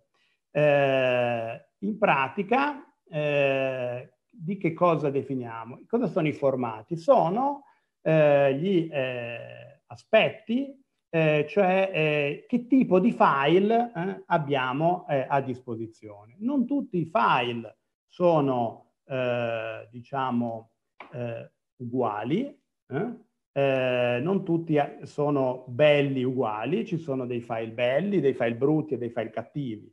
Ad esempio un PDF non è un file aperto perché i dati rimangono intrappolati all'interno eh, ci sono dei file come ad esempio il DVG di CAD che non è un file aperto. Ci sono invece dei formati come il CSV per esprimere ad esempio i dati tabellari o il GeoJSON per, per esprimere i dati geografici che invece sono aperti. Perché sono aperti? Perché li posso utilizzare con qualsiasi software e non devo avere un software proprietario di, eh, di riferimento. A questo eh, si lega l'enorme diciamo, mondo dei cosiddetti linked data, cioè il fatto di poter collegare tra di loro i dati in modo da accrescere le mie informazioni. E come faccio questo? Attraverso quella che viene definita l'interoperabilità eh, semantica. L'interoperabilità semantica viene eh, definita attraverso un insieme diciamo, di eh, triplette definite in una struttura che si chiama Resource Description Framework e nel quale diciamo si passa da un concetto relazionale come quello dei database a cui siamo abituati a un concetto di grafo. Cioè io posso esprimere tramite dei piccoli pensierini formati da un soggetto, da un predicato e da un oggetto dei concetti tipo Tizio è amico di Caio oppure Tizio ha fatto questo oggetto o questo oggetto ha una certa eh, cronologia. Per aiutarmi in questo posso utilizzare dei vocabolari, diciamo, strutturati, quindi non tutte le volte dover andare a spiegare che cosa intendo, ma andare a cercare in questi vocabolari delle definizioni che possano essere condivise ampiamente. Quindi posso utilizzare vocabolari e ontologie. Ontologie sono, diciamo, la strutturazione complessiva del, del sapere. Mentre uno definisce i concetti, l'altro struttura la conoscenza in un determinato campo. Quindi abbiamo tantissimi tipi di eh, vocabolari. Uno è, ad esempio, heritage data, che eh, sono, diciamo, un vocabolario per i beni culturali abbiamo il famoso Art and Architecture Thesaurus del Getty, abbiamo Iconoclass, ad esempio, per descrivere l'iconografia, e abbiamo delle ontologie, cioè degli schemi che, diciamo, eh, strutturano la conoscenza in un determinato eh, dominio, come per i beni culturali il SIDOC eh, CRM. Ma la cosa fondamentale è che questi dati siano riutilizzabili. Per essere riutilizzabili, come si diceva prima, devono avere dei eh, metadati, dei metadati che ci permettano di capire bene che tipo di dati siano, ma devono avere delle licenze. Le licenze sono il cancello no? che ci dice la via, non sono una chiusura, non sono una barriera, sono quello che ci permette di fare qualcosa. E quindi per fare questo in genere vengono utilizzate delle licenze aperte come le cosiddette licenze Creative Commons, cioè delle licenze che hanno un grande uso, che sono tradotte in tantissime lingue e che quindi ci permettono di essere chiari quando noi distribuiamo i nostri dati. Le licenze principali che interessano i dati aperti sono Creative Commons by, cioè attribution, dire chi ha fatto, e Creative Commons share alike, cioè lo condivido allo stesso modo, era aperto e te lo restituisco aperto. Se utilizzo una licenza CC0 invece vuol dire che non voglio niente, non devi dire chi l'ha fatto e è di dominio pubblico, è tutto free. Mm? Altra cosa importante, non ci devono essere tecnolo- eh, restrizioni tecnologiche, quindi io devo poter utilizzare questi dati che devono essere, diciamo, processabili immediatamente da, eh, da una macchina. Quindi questo è, diciamo, è il, il framework, eh, il quadro all'interno del quale si muovono eh, gli open data. Ma quando parliamo di archeologia, eh, a che cosa ci, eh, ci, riferiamo? Ora qui passo la palla a Francesca che entra, diciamo, più nello specifico della eh, parte archeologica e quindi lascio che lei condivida lo schermo. Allora, ehm, date che faccio questo passaggio tecnico. Eh, la vedete? Sì, perfetto. Ok. Eh, allora, mh, mm, tutta ovviamente questa spiegazione ci ha, co- così come eh, del resto anche quello che ci ha raccontato Marianna, no? ci ha già introdotto a, ehm, a, quello che consideriamo essere il dato archeologico. Eh, Gabriele ci ha detto prima eh, cosa sono i, i raw data in termini archeologici, cioè sono eh, quel nostro codice sorgente, quella, la base dalla quale non possiamo prescindere per qualunque nostra eh, interpretazione, qualunque nostra ricostruzione, eh, qualunque nostro, ehm, diciamo, dissertazione con più o meno grado di soggettività, come appunto Marianna prima spiegava bene. Eh, abbiamo eh, sicuramente una, una, grande mole di dati da gestire, l'archeologia ha una grande mole di dati e ha anche mh, la responsabilità di gestire questi dati in quanto a differenza di altre discipline non ha eh, la possibilità di eh, ripeterli. Eh, la nostra disciplina è ovviamente distruttiva e ehm, non può ripercorrere integralmente il processo, non può ricreare il contesto che ha appena scavato, quindi ha un eh, problema ehm, elevatissimo in termini di eh, documentazione, cioè re- registrazione del dato, ma anche di preservazione di quel dato. All'interno del, eh, del dato archeologico, come eh, di altri tipi di dati ovviamente, però all'interno del, del, nostro contesto poi ci si pongono una serie di sfide che eh, quando parliamo di open data eh, si vanno direttamente a interfacciare con eh, i temi della privacy, così come eh, della eh, legittimità con la quale eh, possiamo utilizzare determinati dati, la loro provenienza. Abbiamo tanti ambiti diversi con i quali ci dobbiamo mh, interrogare, interfacciare. Il concetto, come diceva prima anche Gabriele, il concetto di, di open data in realtà è ehm, per quanto eh, nasce lontano nel tempo eh, e per quanto sia già dai primi anni 2000 che si, se ne parla, ha ancora delle difficoltà però eh, ad essere proprio enucleato in, in, una maniera così articolata e a essere soprattutto compreso da tutti nelle sue sfaccettature. Intendo ovviamente nel no, nella nostra disciplina, nel nostro campo.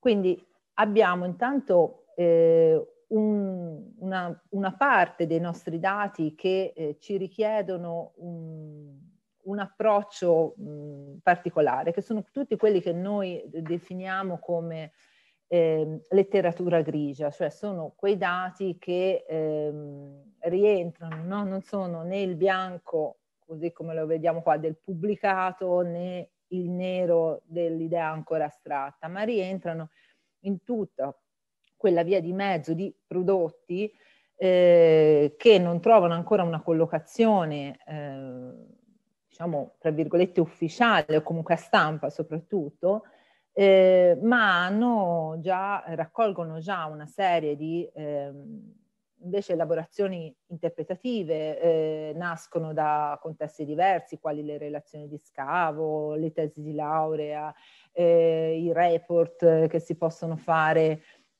in, in varie esperienze professionali, elementi eh, video o, o, audio, comunque set di dati che sono però ehm, diciamo articolati dentro a un, a un, prodotto che non è ancora pubblicato ma che ha già invece un, eh, una sua organizzazione e soprattutto un suo autore.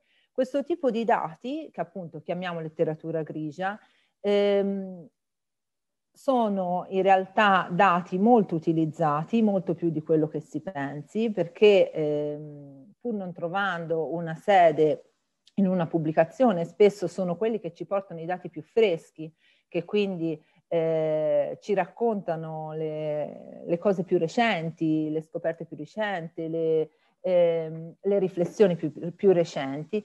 E sono quelli che eh, molto spesso non finiscono o finiscono solo in parte in un archivio dove invece magari si conservano sia anche tutti, tutti gli altri tipi di dati, ma che invece eh, rimangono in un limbo. Questo è un tipo di dato eh, che è prettamente diciamo, archeologico, ovviamente non solo, ma nel nostro settore è ehm, estremamente presente e che eh, ci richiede uno sforzo eh, di condivisione che mh, non sempre è, eh, avviene o non avviene in maniera così, ehm, diciamo, comune, in maniera eh, quotidiana. Dall'altra parte invece abbiamo un problema eh, in, legato ai nostri dati, ai dati che produciamo in seno ad ogni ricerca. Abbiamo un, prove- un problema di conservazione, di, eh, di degradazione del, sia del supporto sia eh, del contenuto, o meglio, con eh, il cambiamento del supporto, quindi dal, dal cartaceo a, al digitale abbiamo, siamo riusciti a immagazzinare e a, anche a produrre molti più dati, ma allo stesso tempo abbiamo perso eh, una, eh, rischiamo e in parte abbiamo perso una quantità di dati eh, che ormai sono eh, conservati su supporti non più leggibili o, ehm, a, come diceva Marianna all'inizio di questa nostra mattinata, in una maniera eh, che non, non, ci è più consentito eh, elaborare. Quindi abbiamo una, un problema di preservazione del dato, eh, che sicuramente ci richiede delle riflessioni in questo senso e che eh, ancora non è del tutto affrontato. Allora, non è del tutto affrontato e eh, vedo il tempo che mi scorre veloce, quindi vi faccio veramente una carrellata mol- molto veloce. Eh, non è del tutto affrontato, secondo me, a mio avviso, almeno in Italia, per quanto ci sono delle esperienze eh, nel mondo eh, sicuramente all'avanguardia e co- che hanno già uno storico in questo senso. Prima, prima di fra tutte eh, l'Archaeology Data Service di York, che immagino tutti conosciate, è che è il più longevo degli archivi archeologici open data, dove eh, ormai sono conservati oltre 3 milioni di, di documenti eh, di ogni tipo, provenienti da eh, qualunque tipo di indagine, ricerca, lavoro professionale, eh, ogni tipo di intervento che viene fatto in Gran Bretagna e non solo, ci sono anche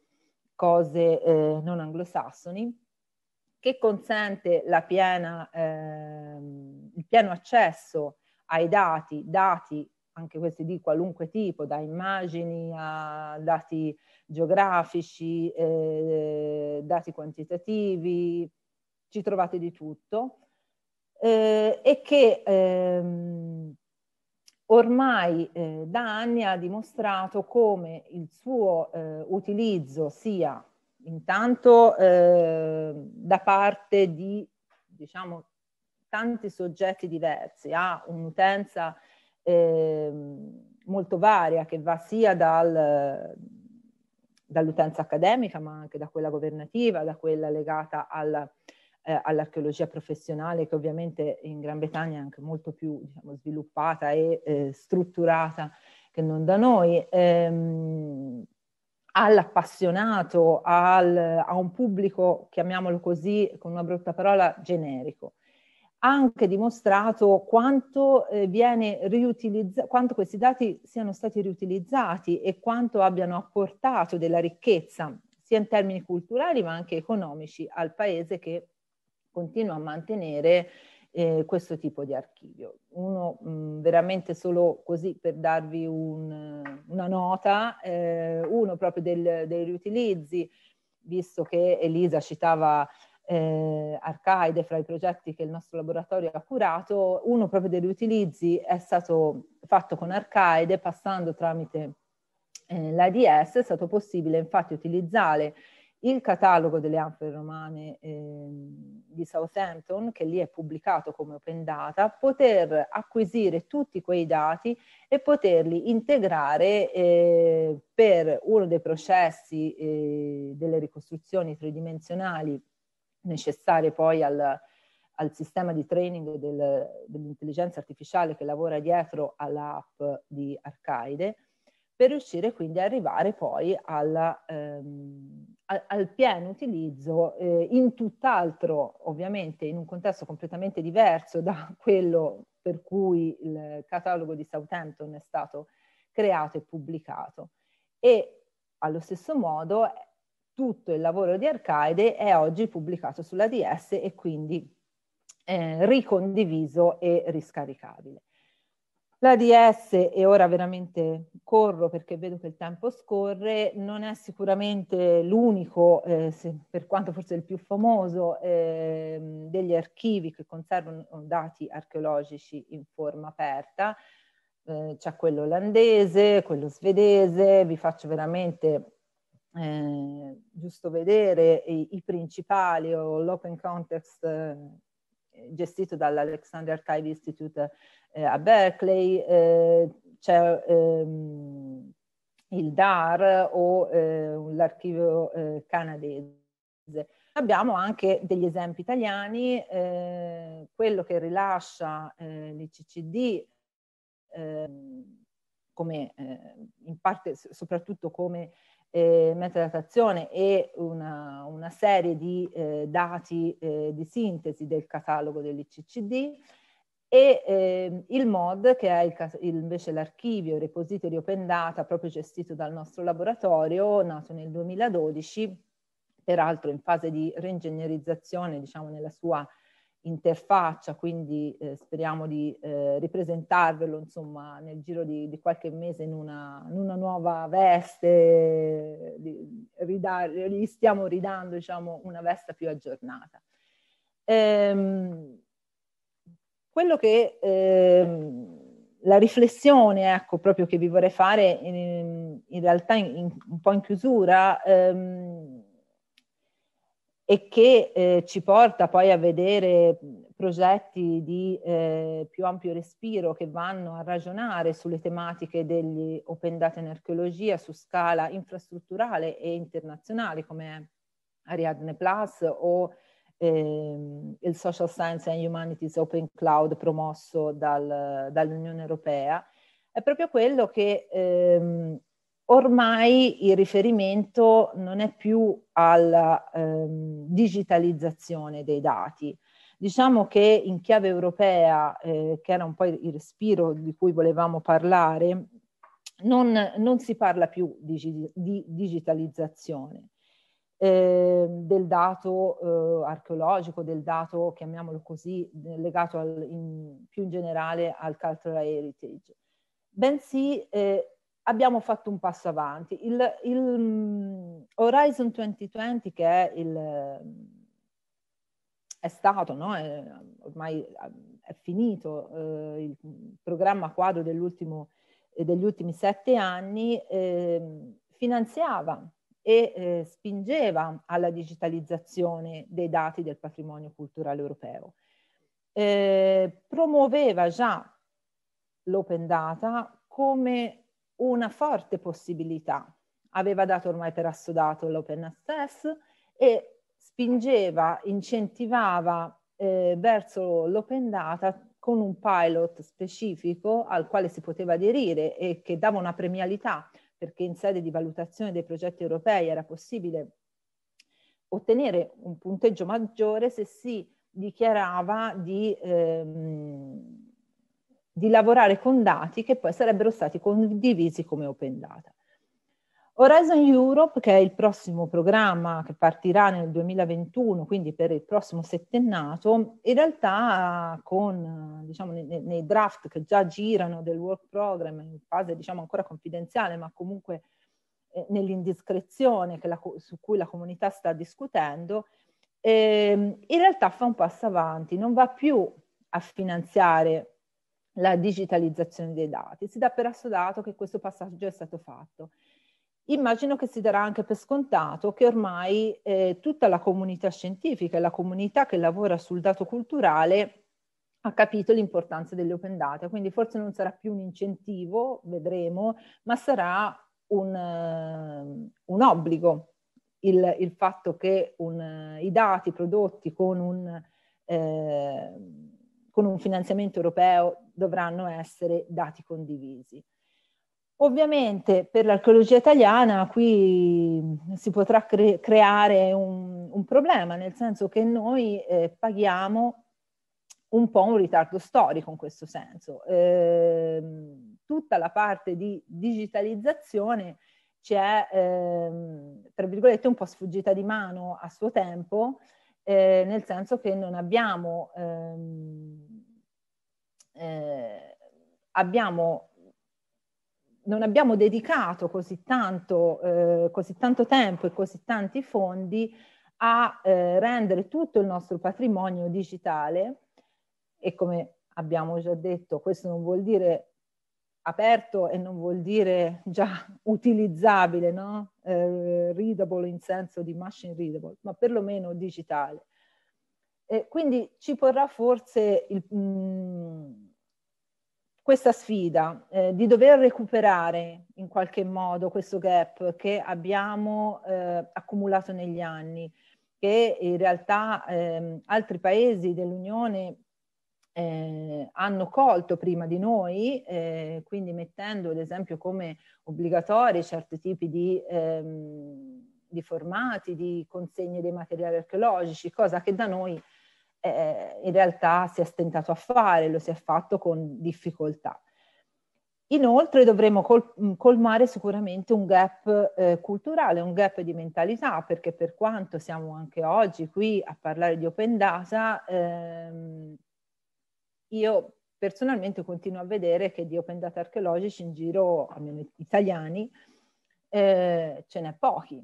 Quindi in realtà ehm, sono fioccati negli anni i, i momenti di, di, dibattito, di confronto, cosa che ovviamente eh, prima non avveniva e quindi siamo tutti contenti, però poi ehm, sono mancati i dati perché in realtà cose, quello su cui dovremmo discutere dovrebbero essere i dati, cioè avendoli quindi a disposizione di tutti per confrontarsi.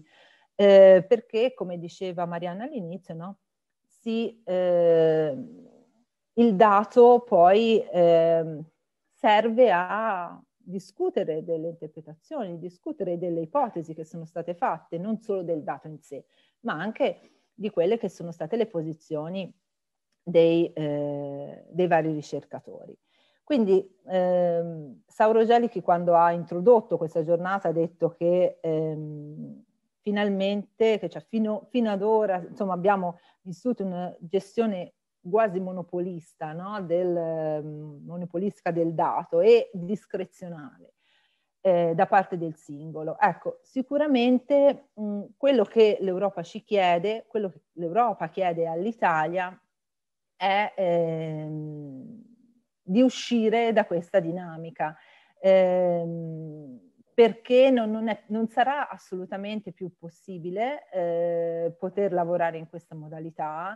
Addirittura appunto siamo già eh, in, ritardo, quindi dobbiamo recuperare affinché i nostri dati possano essere ehm, condivisibili ehm, quindi già digitali e già eh, datificati, no? come, um, come, direbbe Gabriele, sicuramente abbiano fatto già quel passaggio per cui non solo li possiamo leggere in forma digitale, ma li possiamo lavorare, lavorare. Quindi questo sarà probabilmente la sfida principale che dovremmo ehm, affrontare con l'Europa nel prossimo settennato per poter stare al passo con eh, quello che sarà il, i finanziamenti che l'Europa eh, ci, dà, ci darà. Eh, Horizon Europe ehm, si pone già in maniera più restrittiva rispetto a Horizon 2020 verso il cultural heritage. La, le, le, sfide legate al patrimonio diciamo, hanno ricevuto in sede di discussione e di strategia complessiva dell'Unione meno spazio rispetto al precedente eh, programma, in più ci sono stati eh, necessariamente tutta la serie di tagli ai finanziamenti dovuti al, all'emergenza sanitaria. Eh, quindi dovremmo veramente ehm, entrare in, questo, in, questa modalità, riuscire a colmare questo passaggio che eh, sul quale purtroppo finora siamo rimasti un, un pochino indietro. Abbiamo sicuramente delle eccellenze, dei grandi buoni prodotti in termini digitali di sviluppo, di ricerca, ma anche di eh, professionalità sul campo, ma abbiamo bisogno di cambiare la mentalità delle persone affinché non si continui solo a parlare di open data, ma si faccia veramente open data in archeologia con i dati mettendo i nostri dati a disposizione degli altri. Non so se Gabriele vuole...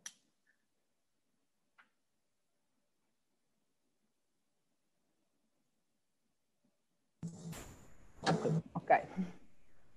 No, no, non, non ho da aggiungere nulla, lascio giustamente lo spazio a chi deve parlare dopo.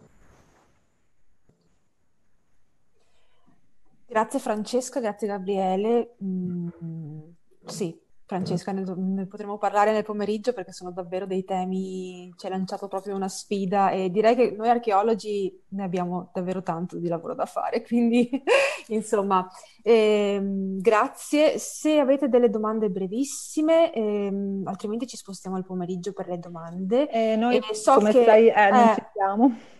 Quindi se avete de- con, per loro delle domande brevissime da fare, magari ehm, o anche in chat se volete scrivere qualcosa, mh, 5 minuti possiamo dedicarli, insomma, ecco.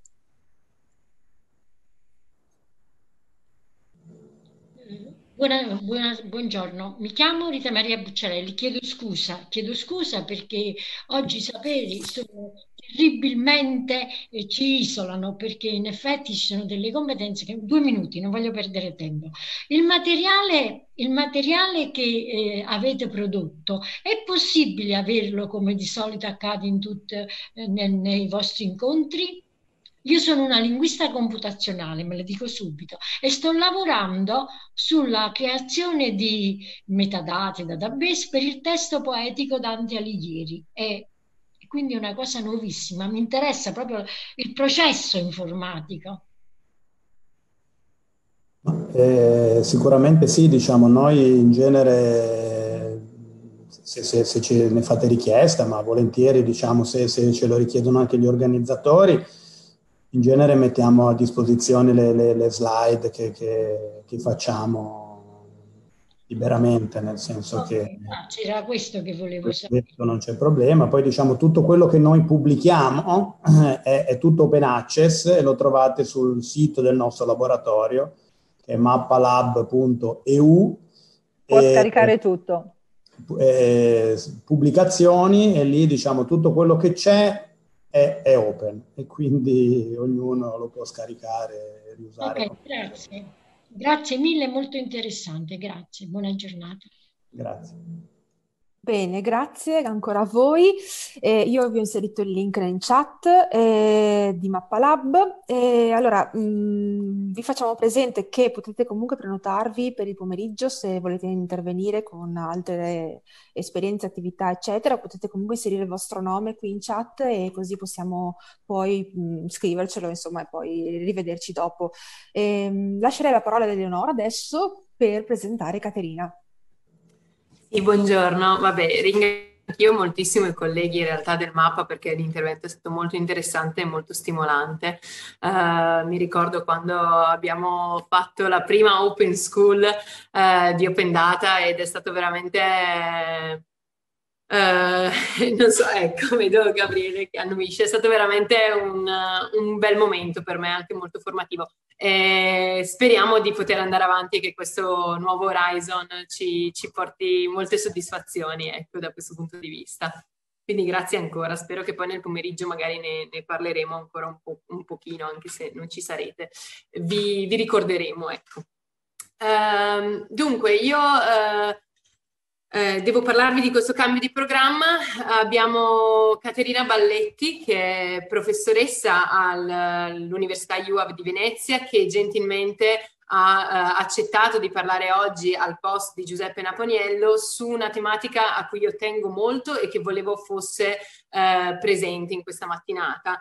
Um, Caterina è professoressa appunto di uh, cartografia, GIS, rilievo strumentale, quindi geomatica per gli architetti, ma il laboratorio eh, in cui lavora si occupa da direi anni, decenni di eh, beni culturali e in particolare di archeologia. Um, quindi la prospettiva interdisciplinare che oggi lei ci, ci dà con, questa, con la sua presentazione è eh, fondamentale perché ci parla di tipi di dati con cui gli archeologi on, oggi hanno a che fare sempre di più, i dati geografici e i dati ehm, 3D, chiamiamoli così. Uh, quindi io le lascio la parola, la ringrazio molto, ovviamente ehm, vorrei citare in realtà la collaborazione con, con lo scavo di Altino perché eh, il laboratorio Circe e eh, la, la, campagna di scavo diretta dal professor Sperti lavora ormai in località ghiacciaia e il loro apporto è veramente fondamentale. Quindi grazie Caterina, ti lascio la parola. grazie Eleonora. Condivido subito lo schermo così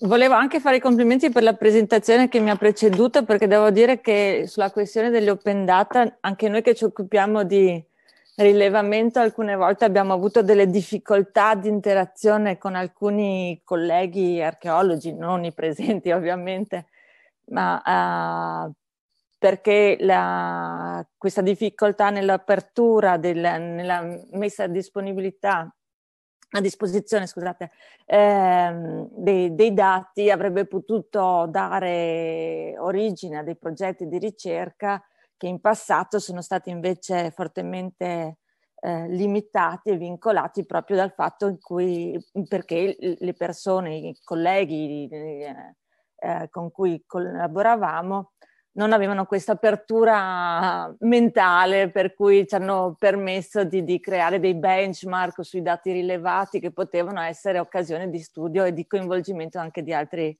eh, ricercatori. Detto ciò, eh, procedo con la mia breve eh, presentazione.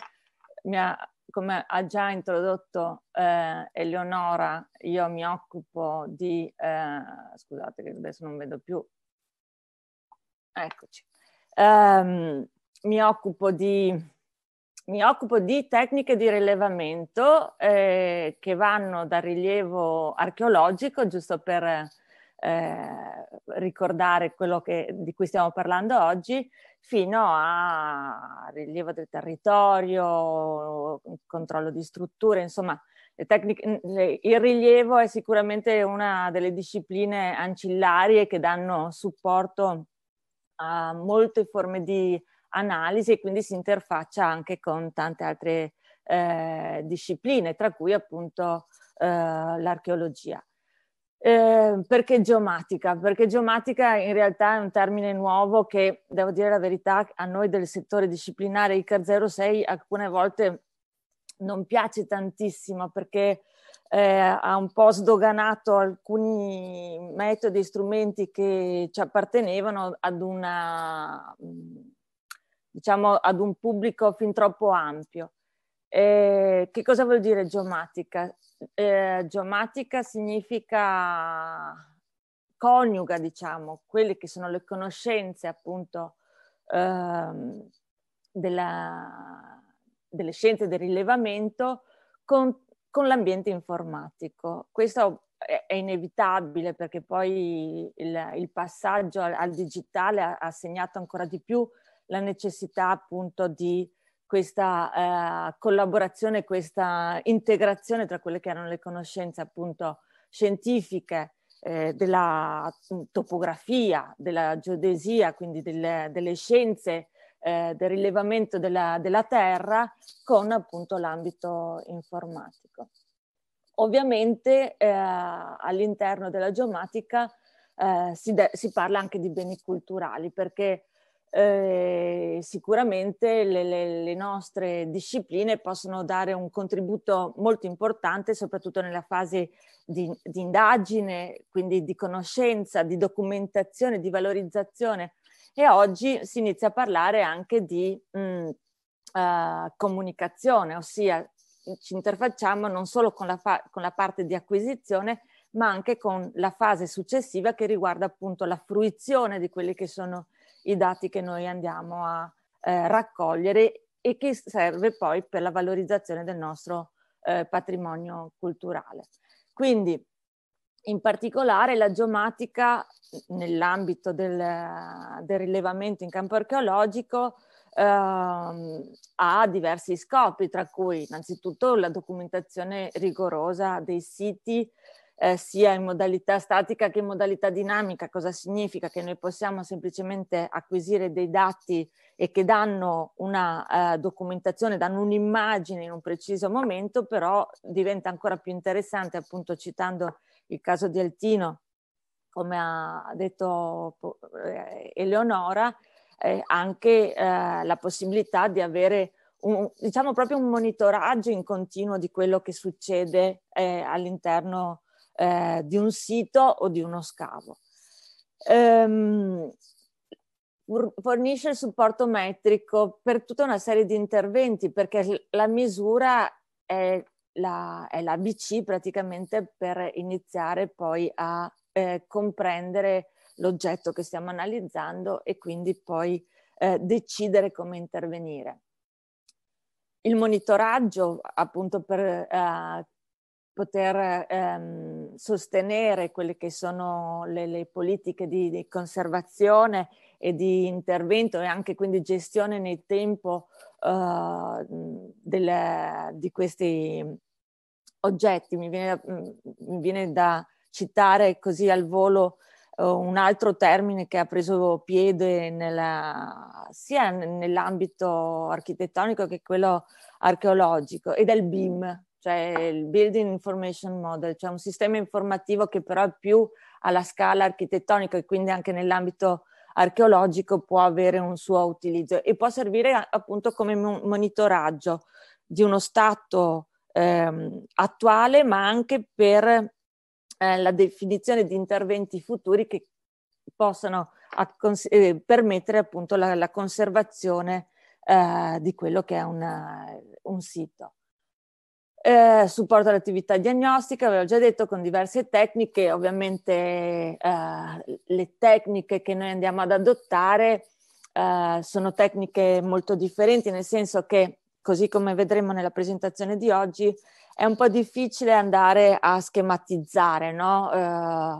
Eh, in questa determinata situazione posso utilizzare questo strumento o intervengo con questo metodo, perché ogni situazione è un caso particolare, il rilievo deve essere sempre fortemente indirizzato rispetto a quelle che sono le caratteristiche dell'oggetto che stiamo per rilevare, il contesto in cui si opera, perché ovviamente ci sono dei problemi spesso legati alla logistica, e poi a quello che è il prodotto che si vuole ottenere, cioè quali sono i dati che vogliamo poi ottenere e che servono conseguentemente a, ai nostri amici archeologi o a, a chi appunto eh, dovrà utilizzarli. E, e, per ultimo vi ho citato anche la replica di opere tramite macchine a controllo numerico, perché eh, proprio nell'ottica eh, di andare ad analizzare anche quelle che sono le forme più attuali di comunicazione, di fruizione del nostro patrimonio, negli ultimi anni è entrato anche l'utilizzo delle stampanti solide. Allora, ehm, nel momento in cui ci si chiede di realizzare una replica, è proprio nell'animo del eh, fotogrammetra, del topografo, quello di andare a valutare quella che è la precisione con cui noi poi andiamo a replicare questi oggetti. Perché una cosa che eh, è fondamentale è eh, il fatto che i dati che noi acquisiamo devono essere sì trattati, ma devono essere sempre collaudati e validati, perché nel nostro, eh, nel momento in cui eh, svolgiamo un rilievo, non possiamo non considerare quella che è la precisione per cui andiamo a farlo, per cui l'affidabilità dei dati che poi noi trasferiamo agli altri. Eh, e proprio in ragione di quella che è la precisione e eh, appunto anche di quelle che sono le scelte eh, metodologiche, operative che noi andiamo a fare, eh, dobbiamo andare a eh, considerare i diversi livelli di dettaglio che noi eh, andiamo ad affrontare nelle, nelle nostre attività. E, ehm, parliamo di una scala micro nel momento in cui eh, ci occupiamo di quelli che sono piccoli reperti all'interno di un sito archeologico, quindi una, un'area molto uh, circoscritta, quindi con eh, elementi che eh, poi possono, devono essere musealizzati o comunque devono essere eh, archiviati.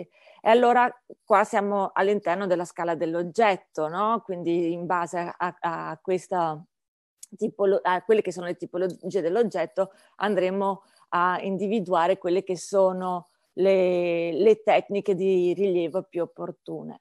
Poi abbiamo una scala semi-micro che invece è orientata alle problematiche intrasito, per cui andiamo a analizzare anche eh, ehm, le diverse unità che compongono appunto eh, la, il sito considerato e quindi andiamo ad ampliare quello che è l'ambito di, eh, docu- della documentazione. E poi c'è la scala macro che riguarda invece eh, il territorio, eh, perché molto spesso eh, non si può ehm, non considerare quello che è l'inquadramento, quello che è il luogo dove noi andiamo eh, a ritrovare determinate presenze e quindi abbiamo la necessità di mettere in relazione anche il, la scala micro, quindi l'oggetto, con uh, quelle che sono le, le, vicinanze o comunque con le relazioni con il territorio stesso.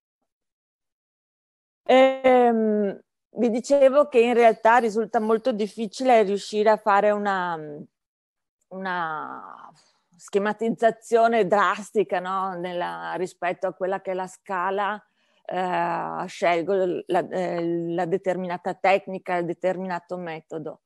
Eh, questa è una schematizzazione che appunto eh, si può trovare in letteratura e che eh, fa, eh, chiama alcune tecniche, alcuni metodi rispetto appunto a quelle che sono le estensioni, le caratteristiche proprio delle, dell'oggetto. Però è ovvio che nel momento in cui noi dobbiamo intervenire, inevitabilmente mh, preferiamo quello che è un atteggiamento che, eh, che prevede l'integrazione tra le varie tecniche di rilievo e quindi la possibilità anche di fornire un rilievo multiscala che appunto in ambito archeologico diventa eh, fondamentale.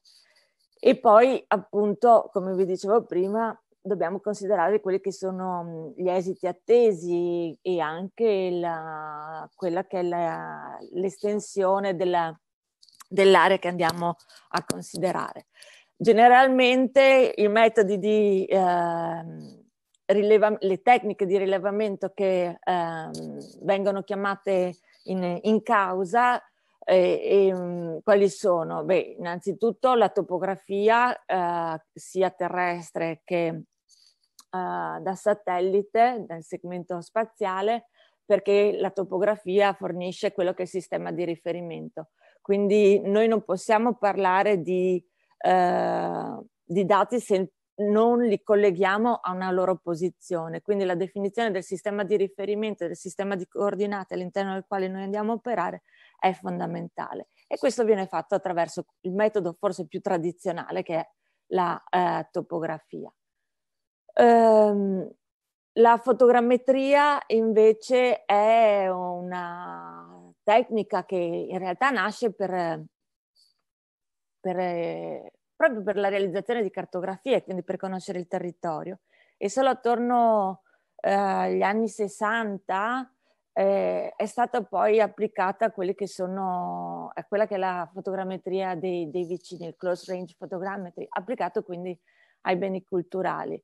E ho il piacere di eh, ricordare che i laboratori di fotogrammetria del, della mia università, quindi dello UAV, è uno dei primi in Italia che si è occupato appunto di fotogrammetria applicata ai beni culturali, per cui ehm, mi sento di dire che eh, magari non io, ma il laboratorio vanta una lunga esperienza. Um, e poi aggiungerei le, la, le, tecniche leader, ossia eh, il laser scanner, ossia cosa significa? Uh, strumenti che mi permettono di acquisire milioni di punti uh, rispetto ad un oggetto, un territorio, chiamiamo proprio una superficie, diciamo una superficie, che poi possono essere il punto di partenza per uh, diverse elaborazioni perché, e soprattutto per la realizzazione di modelli tridimensionali, visto che sempre più uh, diciamo che uh, ci si è spostati a, mh, mm, verso la, appunto la tridimensionalità, la richiesta di una documentazione tridimensionale piuttosto che alle documentazioni più canoniche, tradizionali, eh, bidimensionali, quindi eh, le più classiche proiezioni ortogonali. Questo perché ci permette di ottenere delle informazioni mh, mm, più collegate tra, tra di loro. Ehm, nelle slide che andremo a vedere eh, ho cercato di sintetizzare un pochino quelle che sono appunto le tecniche e gli strumenti della geomatica E, mh, quindi faremo un, un, veloce accenno anche a quello che riguarda la, il telerilevamento e l'uso di dati multispettrali. Eh, qui parliamo appunto di immagini che eh, prese da satellite con delle caratteristiche eh, ben precise, cioè non, non sono l'equivalente di un'immagine fotografica, bensì appunto vado a eh, analizzare mh, quella che è l'energia eh, che viene ehm, emessa e riflessa dalle superfici ehm, che vengono appunto colpite da questo segnale e sulla base della risposta e quindi a seconda del tipo di sensore che vado a utilizzare registra un tipo di informazione che può essere molto importante soprattutto per dare supporto a tutta una ehm, fase successiva di analisi che può riguardare ad esempio il survey. E quindi integrando poi quelli che sono le, eh, i dati multispettrali e iperspettrali che noi registriamo, noi andiamo ad acquisire con uh, la tecnica del telerilevamento per supportare poi delle forme di indagine direttamente eh, sul luogo, quindi eh, per intervenire in maniera più puntuale alcuni casi sempre uh, che possono essere facilmente ritrovati in bibliografia.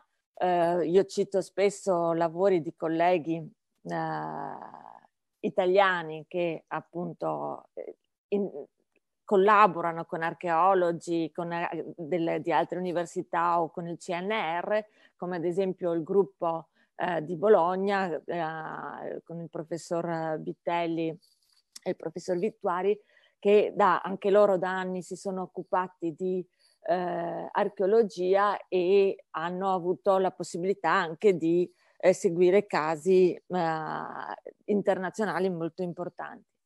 Eh, qua siamo in Iran e, e mm, nel, è l'analisi di un sito che ha subito un forte danneggiamento in seguito a un terremoto nel 2003 e le immagini che noi vediamo hanno uh, risoluzioni differenti, eh, ma anche lavorano su, su bande differenti. Quindi l'image processing, quindi la, la, il trattamento delle nostre, di queste immagini utilizzando appunto delle analisi eh, si chiamano object oriented, per cui che estraggono l'informazione dalle feature che si leggono direttamente da queste immagini, possono mettere in evidenza anche quelle che sono le trasformazioni in seguito ad un particolare evento. E quindi ehm, possono fornire eh, delle informazioni eh, importanti proprio per la conoscenza di questi luoghi.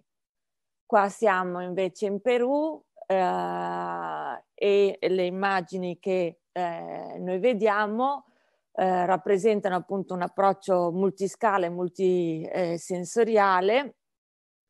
Eh, si analizza appunto quello che è il bacino di drenaggio del fiume Nasca utilizzando una, i dati ottenuti per costruire un DTM, cioè un modello digitale del, del terreno a diverse risoluzioni, proprio a partire da quelle che sono le caratteristiche dei diversi sensori utilizzati, quindi si ha eh, un sensore a 90 metri, a 30 metri, 15 metri, fino ad arrivare poi dalle immagini eh, QuickBird, quindi abbiamo una risoluzione eh, che va dai 70 ai 30 centimetri, per fare delle analisi più mirate, più, specifica, eh, più specifiche proprio nell'area del sito uh, che riguarda appunto la zona um, cerimoniale e che evidenzia appunto quelle che possono essere eh, delle tracce su cui poi basare le, le, le, le successive campagne eh, di scavo. Altri casi applicativi, qua ci spostiamo ad Aquileia e appunto uh, anche in questo caso vediamo l'integrazione invece tra i dati MIVIS iperspettrali e, e, e altri dati perspettrali e uh, l'interazione con i dati LIDAR, quindi uh, ottenuti attraverso un rilievo laser scanning aereo. Quello che si ottiene anche in questo caso è un modello digitale del terreno, in questo caso vedete che viene anche attribuito un fattore di scala diverso, giusto per amplificare che è, quella che è la morfologia poi delle, della superficie rilevata, perché proprio attraverso questi segni, queste eh, anomalie che si riscontrano poi sulla superficie si possono individuare delle eh, strutture che eh, non sono chiaramente visibili da una ricognizione a terra. E passiamo quindi una, alla fotogrammetria. La fotogrammetria, vi dicevo, è un metodo di rilievo, una tecnica che si sviluppa in realtà alla fine dell'Ottocento, proprio eh, in seguito a, la, al consolidamento della tecnica eh, fotografica e anche allo sviluppo eh, della, dell'aviazione eh, e quindi eh, si è compreso praticamente che acquisendo delle immagini del territorio dall'alto si, ottenere, si poteva ottenere una mappatura appunto del, del territorio. E in realtà fin da subito questo metodo viene utilizzato anche per la documentazione di uh, luoghi uh, di cultura. Um, vi ricordo che il, il primo, uno dei primi fotopiani, quindi uh, una cartografia realizzata con il metodo fotogrammetrico, è stata svolta proprio qui a Venezia nel 1911, utilizzando come sistema di eh, acquisizione, quindi non con un aereo, bensì con uh, un, una sorta di dirigibile che veniva eh, trascinato da una zattera lungo i canali e eh, questo dirigibile sollevava una camera metrica da cui poi eh, erano stati fatti i fotogrammi. Ma, non solo, eh, ma l- nello stesso periodo abbiamo appunto uh, l'esempio del, del rilievo nei fori di Roma, eh, realizzato appunto dalla sezione aerostatica del, del genio militare.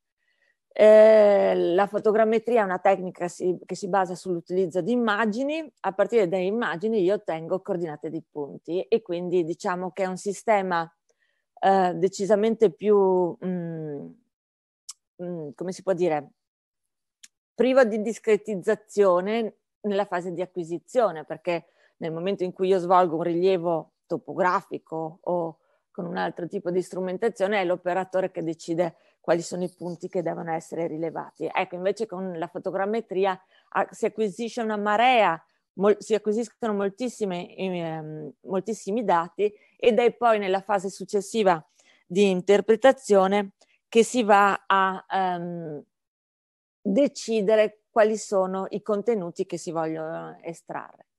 Vi riporto poi uh, altri uh, esempi storici, appunto eh, in Egitto, Uh, e anche questa immagine vi fa vedere che in realtà per sollevare una macchina fotografica si sono utilizzati gli strumenti più disparati, per cui dal pallone frenato, gli aquiloni, come si vede appunto in questa immagine, ma eh, e oggi eh, con i droni, ma è la, l'evoluzione della tecnologia. Proprio per farvi vedere quella che è la lunga mh, amicizia con, uh, con Ca' Foscari, con eh, il professor Sperti in, in particolare, ehm, ho riportato questo esempio.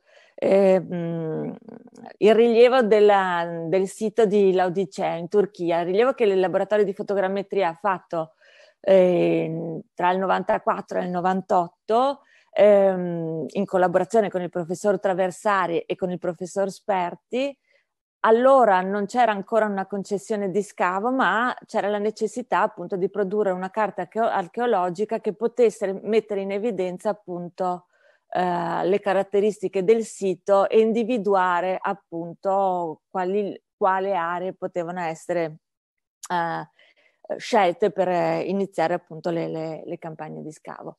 È un lavoro che è stato fatto con la fotogrammetria aerea, quella più classica, per cui eh, acquisendo una serie di fotogrammi da aereo, secondo una disposizione geometrica, una, una disposizione di acquisizione che, segui, che segue una geometria ehm, rigorosa proprio per, eh, indicata eh, per la fotogrammetria.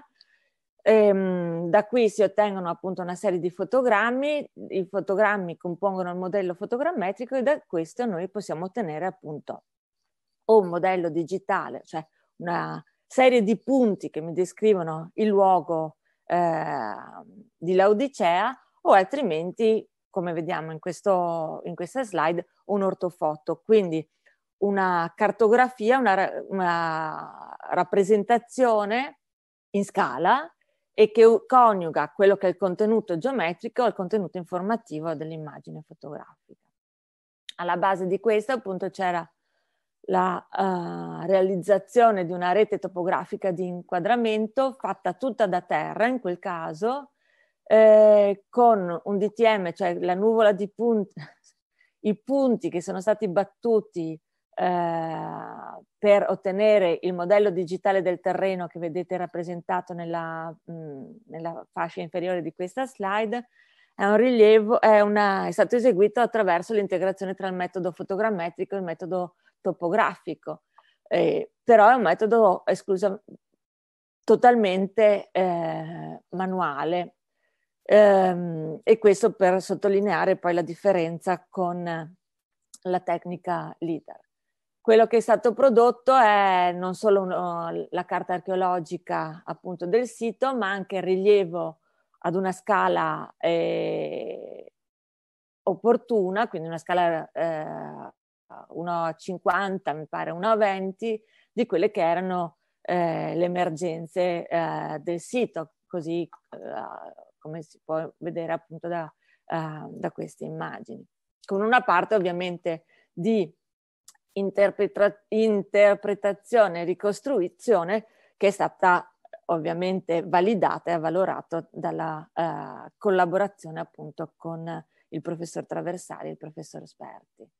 E qui vediamo appunto la sovrapposizione tra la cartografia eh, vettoriale quella raster, quindi eh, fotografica, proprio per evidenziare quelle che sono le, eh, ciò che era visibile appunto negli anni 90 eh, in questo sito. Oggi l'Odicea è stata scavata e quindi ha un aspetto completamente diverso, anzi è una uh, città bellissima che può essere ammirata.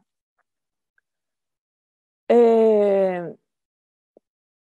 Passiamo invece a una fotogrammetria a quota ridotta. Quando si parla di quota ridotta? Quando in realtà noi abbiamo necessità di arrivare a quella scala intermedia tra la scala territoriale e la scala architettonica.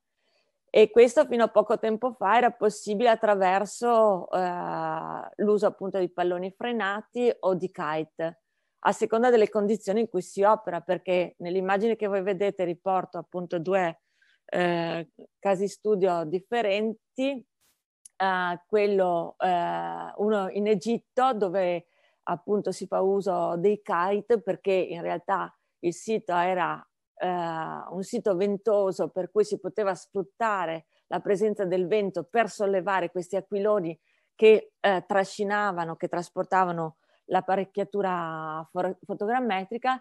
Nel caso invece di Grumentum è stata una sperimentazione che abbiamo voluto fare eh, poco, bah, quanti anni fa? Una quindicina di anni fa ormai, eh, con un pallone frenato, proprio perché avevamo necessità di ottenere una rappresentazione delle, delle piante, delle, delle, ortofoto, anzi, in scala 1 a 200, 1 a 100, eh, di quelli che erano i templi e le, i luoghi riconoscibili appunto nella, eh, nella città di Grumentum. Ehm, e per cui si era utilizzato questo pallone frenato e vi mm, ricordo con non poche difficoltà perché nel momento in cui si alzava un po' di vento il pallone eh, seguiva appunto la corrente e quindi eh, si avevano non poche difficoltà nell'acquisizione dei fotogrammi lo schema delle, delle, immagini acquisite, vedete che è uno schema molto diverso rispetto alla geometria rigorosa che avevamo visto nel caso di Laodicea. Oggi è cambiato tutto, oggi ci sono i droni per cui la, ci si può sollevare con estrema facilità, eh, non si ha bisogno di una, in realtà è una strumentazione molto semplice, una strumentazione low cost, quindi alla portata di tutti quanti.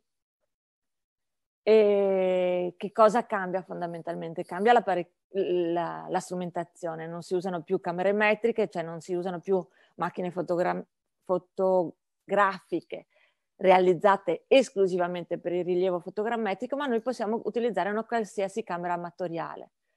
E per questo abbiamo fatto, visto che sì, eh, è facile far volare un drone, è facile fare delle immagini dall'alto, però proprio perché dobbiamo sempre validare quelli che sono i dati che noi andiamo a acquisire, eh, abbiamo fatto degli studi appunto per comprendere quella che è la precisione che può essere ottenuta utilizzando delle camere mh, amatoriali, come possono essere delle compatte, fino all'utilizzo delle action camera che sono appunto uh, come la GoPro, cioè macchine che sono molto leggere per cui si prestano per l'utilizzo sui droni. Inoltre la, la possibilità di coniugare action camera con i droni che vengono ritenuti giocattolo fa sì che ehm, alcune limitazioni che noi abbiamo uh, proprio per eseguire i voli possono essere superate, ovviamente con tutte le accortezze che riguardano appunto la sicurezza uh, dove si sta operando.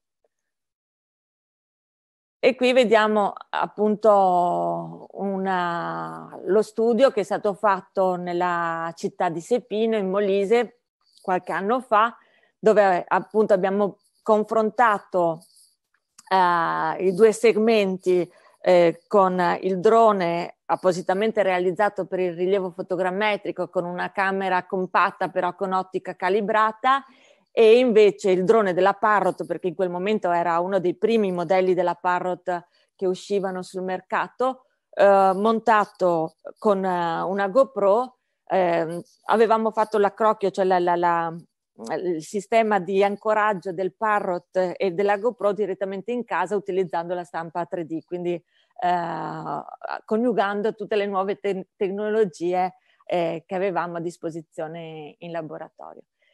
Ma eh, nell'immagine che voi vedete, questa qua del modello fotogrammetrico eh, che mh, mm, eh, viene visualizzato, eh, vi fa capire come è cambiato anche il, l'ambiente di processamento dei dati, cioè eh, in passato si utilizzavano dei restitutori analitici e quindi c'era la necessità anche di avere un personale tecnico specializzato non solo nella fase di acquisizione ma anche nella fase di restituzione.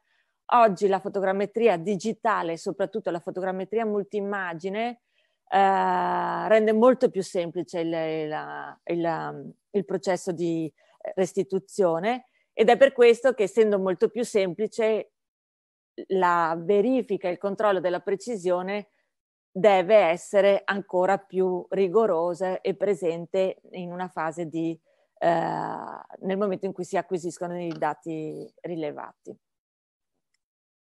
Qui vediamo appunto alcune immagini. La cosa interessante è che in realtà, proprio ve lo dicevo all'inizio, noi mh, non c'è un metodo che viene favorito in un rilievo, bensì eh, l'integrazione di più metodi.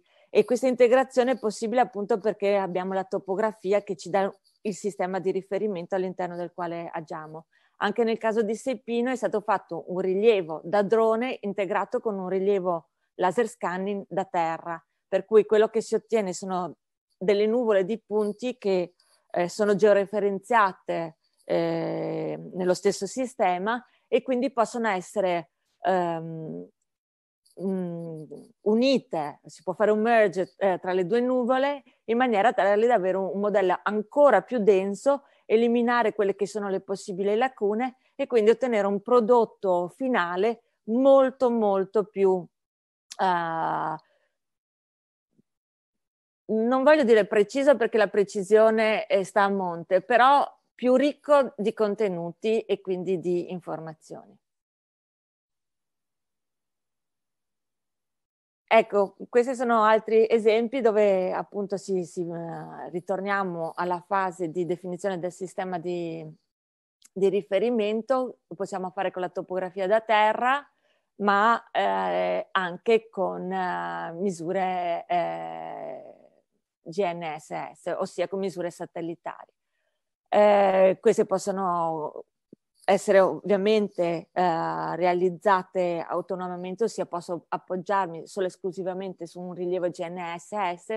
Devo dire che oggi si parla del nostro settore, si parla molto anche di sistemi di acquisizione eh, low cost che ti permettono anche delle, eh, dei rilievi speditivi e quindi che si risultano essere particolarmente adatti in alcuni contesti non proprio semplici e non proprio facili nell'accesso o altrimenti come nel caso appunto uh, sempre di questo sito in Perù o altrimenti uh, nel caso di, sia di Grumentum e di Sepino per riportare delle esperienze applicative proprio svolte all'interno della, del laboratorio di fotogrammetria dello UAV e che sono state poi oggetto anche di mh, scuole estive, quindi eh, che hanno visto il coinvolgimento degli studenti per poter apprendere appunto questi metodi, dove vediamo che c'è un'integrazione anche tra misure eh, topografiche da terra e, e misure da satellite, cosa che diventa molto importante nel momento in cui abbiamo un sito che ha una certa estensione, quindi l'esecuzione di un'unica rete topografica da terra richiederebbe eh, tempi di esecuzione molto lunghi e quindi eh, il rilievo GPS mi permette appunto di eh, poter dialogare luoghi distanti tra di loro, ma comunque riportare, georeferenziarli rispetto allo stesso sistema. Anche in questo caso vediamo eh, il caso eh, di Aquileia, eh, svolto dai nostri colleghi del Politecnico di Torino, ma anche, eh, poi eh, lo vedremo comunque eh, ne parlerà, non so, probabilmente Eleonora, anche nel caso di Altino, eh, anche, questo, anche per Altino abbiamo fatto appunto sia un appoggio GPS che un appoggio topografico proprio per eh, ragionare sul territorio e poi eh, fornire dei dati georeferenziati che potevano essere eh, implementati in un GIS. Uh, parliamo de, dell'altro, di un ulteriore metodo di rilievo che è il laser scanning. Il laser scanning che cos'è? In realtà il laser scanning è l'evoluzione di uno strumento topografico, perché che cosa acquisisce il laser scanning? Angoli e distanze, quindi è l'equivalente di una stazione totale, solo che lo fa in maniera automatica, cioè ne raccoglie tantissimi, milioni di punti. Eh, anche in questo caso non possiamo eh, indicare quale sia il laser scanner più adatto per eh, l'archeologia, quello più adatto per l'architettura, perché ogni situazione richiede uh, delle caratteristiche molto diverse. Per cui anche nel caso dei laser scanning, sia terrestri che aerei, uh, ci sono diverse soluzioni. In realtà poi fanno parte della famiglia dei laser scanning anche i laser scanner a triangolazione, cioè che si, si distinguono i laser scanner sulla base del principio di acquisizione delle distanze, della determinazione della posizione dei punti. Allora possiamo dire che esistono due grandi categorie, quelli distanziometrici che ci servono per il rilievo del territorio, quindi per la realizzazione del DTM che si integrano con i dati iperspettrali, poi ci sono eh, i laser scanner distanziometrici terrestri che servono appunto per il rilievo dei siti e poi abbiamo dei laser scanner che si basano sul principio della triangolazione che vengono utilizzati invece per il rilievo di piccoli oggetti, per i reperti, perché appunto eh, sono più, assicurano delle precisioni più adatte a questo. Qui siamo eh, tornati in Basilicata, a Grumentum, eh, nella parte di, eh, dell'anfiteatro. L'anfiteatro eh, è, è, stato oggetto di studio qualche anno fa anche con il professor Sperti, proprio perché eh, è sopravvissuto nella modalità eh, di pianta, mi piace definirlo così, nel senso che proprio guardandolo dall'alto noi leggiamo quella che è la pianta del livello più basso dell'anfiteatro. E allora proprio eh, a partire dai dati mh, mm, metrici e materici acquisiti nella campagna di, di, di rilievo, eh, si sono fatte una serie di ricostruzioni facendo delle analogie con le, con la, studiando appunto la tipologia eh, architettonica e eh, facendo delle analogie con altri anfiteatri. E qui appunto vedete quella che è la ricostruzione alle fasi. Ecco, qui ho riportato anche il caso di, mh, della, dell'Arena di Verona perché eh, ci ha visti interessati nella campagna di misure per un decennio, abbiamo iniziato nel 98 e le ultime eh, misure le abbiamo fatte nel 2002, in questa immagine vedete appunto forse quelle che sono le fasi successive della, eh, del rilievo che è stato fatto. Eh, si è partiti appunto da un piccolo settore, da tre arcovoli, si è realizzata subito una rete topografica di inquadramento all'interno e all'esterno della, dell'arena di Verona che è servito proprio come gabbia e ancoraggio per tutte le successive fasi di, di misurazione. E ci si è occupati non solamente della parte esterna, quindi del paramento esterno, della cavea, ma anche di tutti gli, ehm, gli spazi ipogei che uh, si trovano al di sotto della, della cavea, mettendo in relazione appunto spazi ipogei con quelli che sono gli spazi esterni, attraverso l'integrazione di fotogrammetria e eh, laser scanning e ovviamente topografia. Bene, passiamo ai GIS. Uh, perché i GIS piacciono molto eh, agli archeologi, perché servono appunto per pot- sono come dei grandi contenitori all'interno dei quali noi possiamo portare dati assolutamente eterogenei, eh, che una volta posizionati, quindi la definizione appunto del sistema di riferimento, anche in questo caso diventa fondamentale, ehm, possono essere appunto mh, interpretati e fornire eh, delle informazioni eh, importanti anche per continuare quelli che sono gli studi. Eh, di casi applicativi ce ne sono moltissimi, eh, appunto qui riporto Hierapolis, sempre fatti dai colleghi del Politecnico di Torino. Uh, qualche anno fa avevo visto la presentazione di questo progetto Visual Versilia, uh, dove si uh, utilizzava il GIS non solo per la parte di, come si può dire, di archiviazione di quelli che sono i dati, ma anche di promozione eh, dei, dei, luoghi della Versiglia, quindi di comunicazione, di fruizione, proprio a partire da un sistema eh, WebGIS che potesse essere eh, consultato anche da un pubblico assolutamente eterogeneo, non solamente da eh, dagli studiosi, ma anche appunto da uh, curiosi e interessati.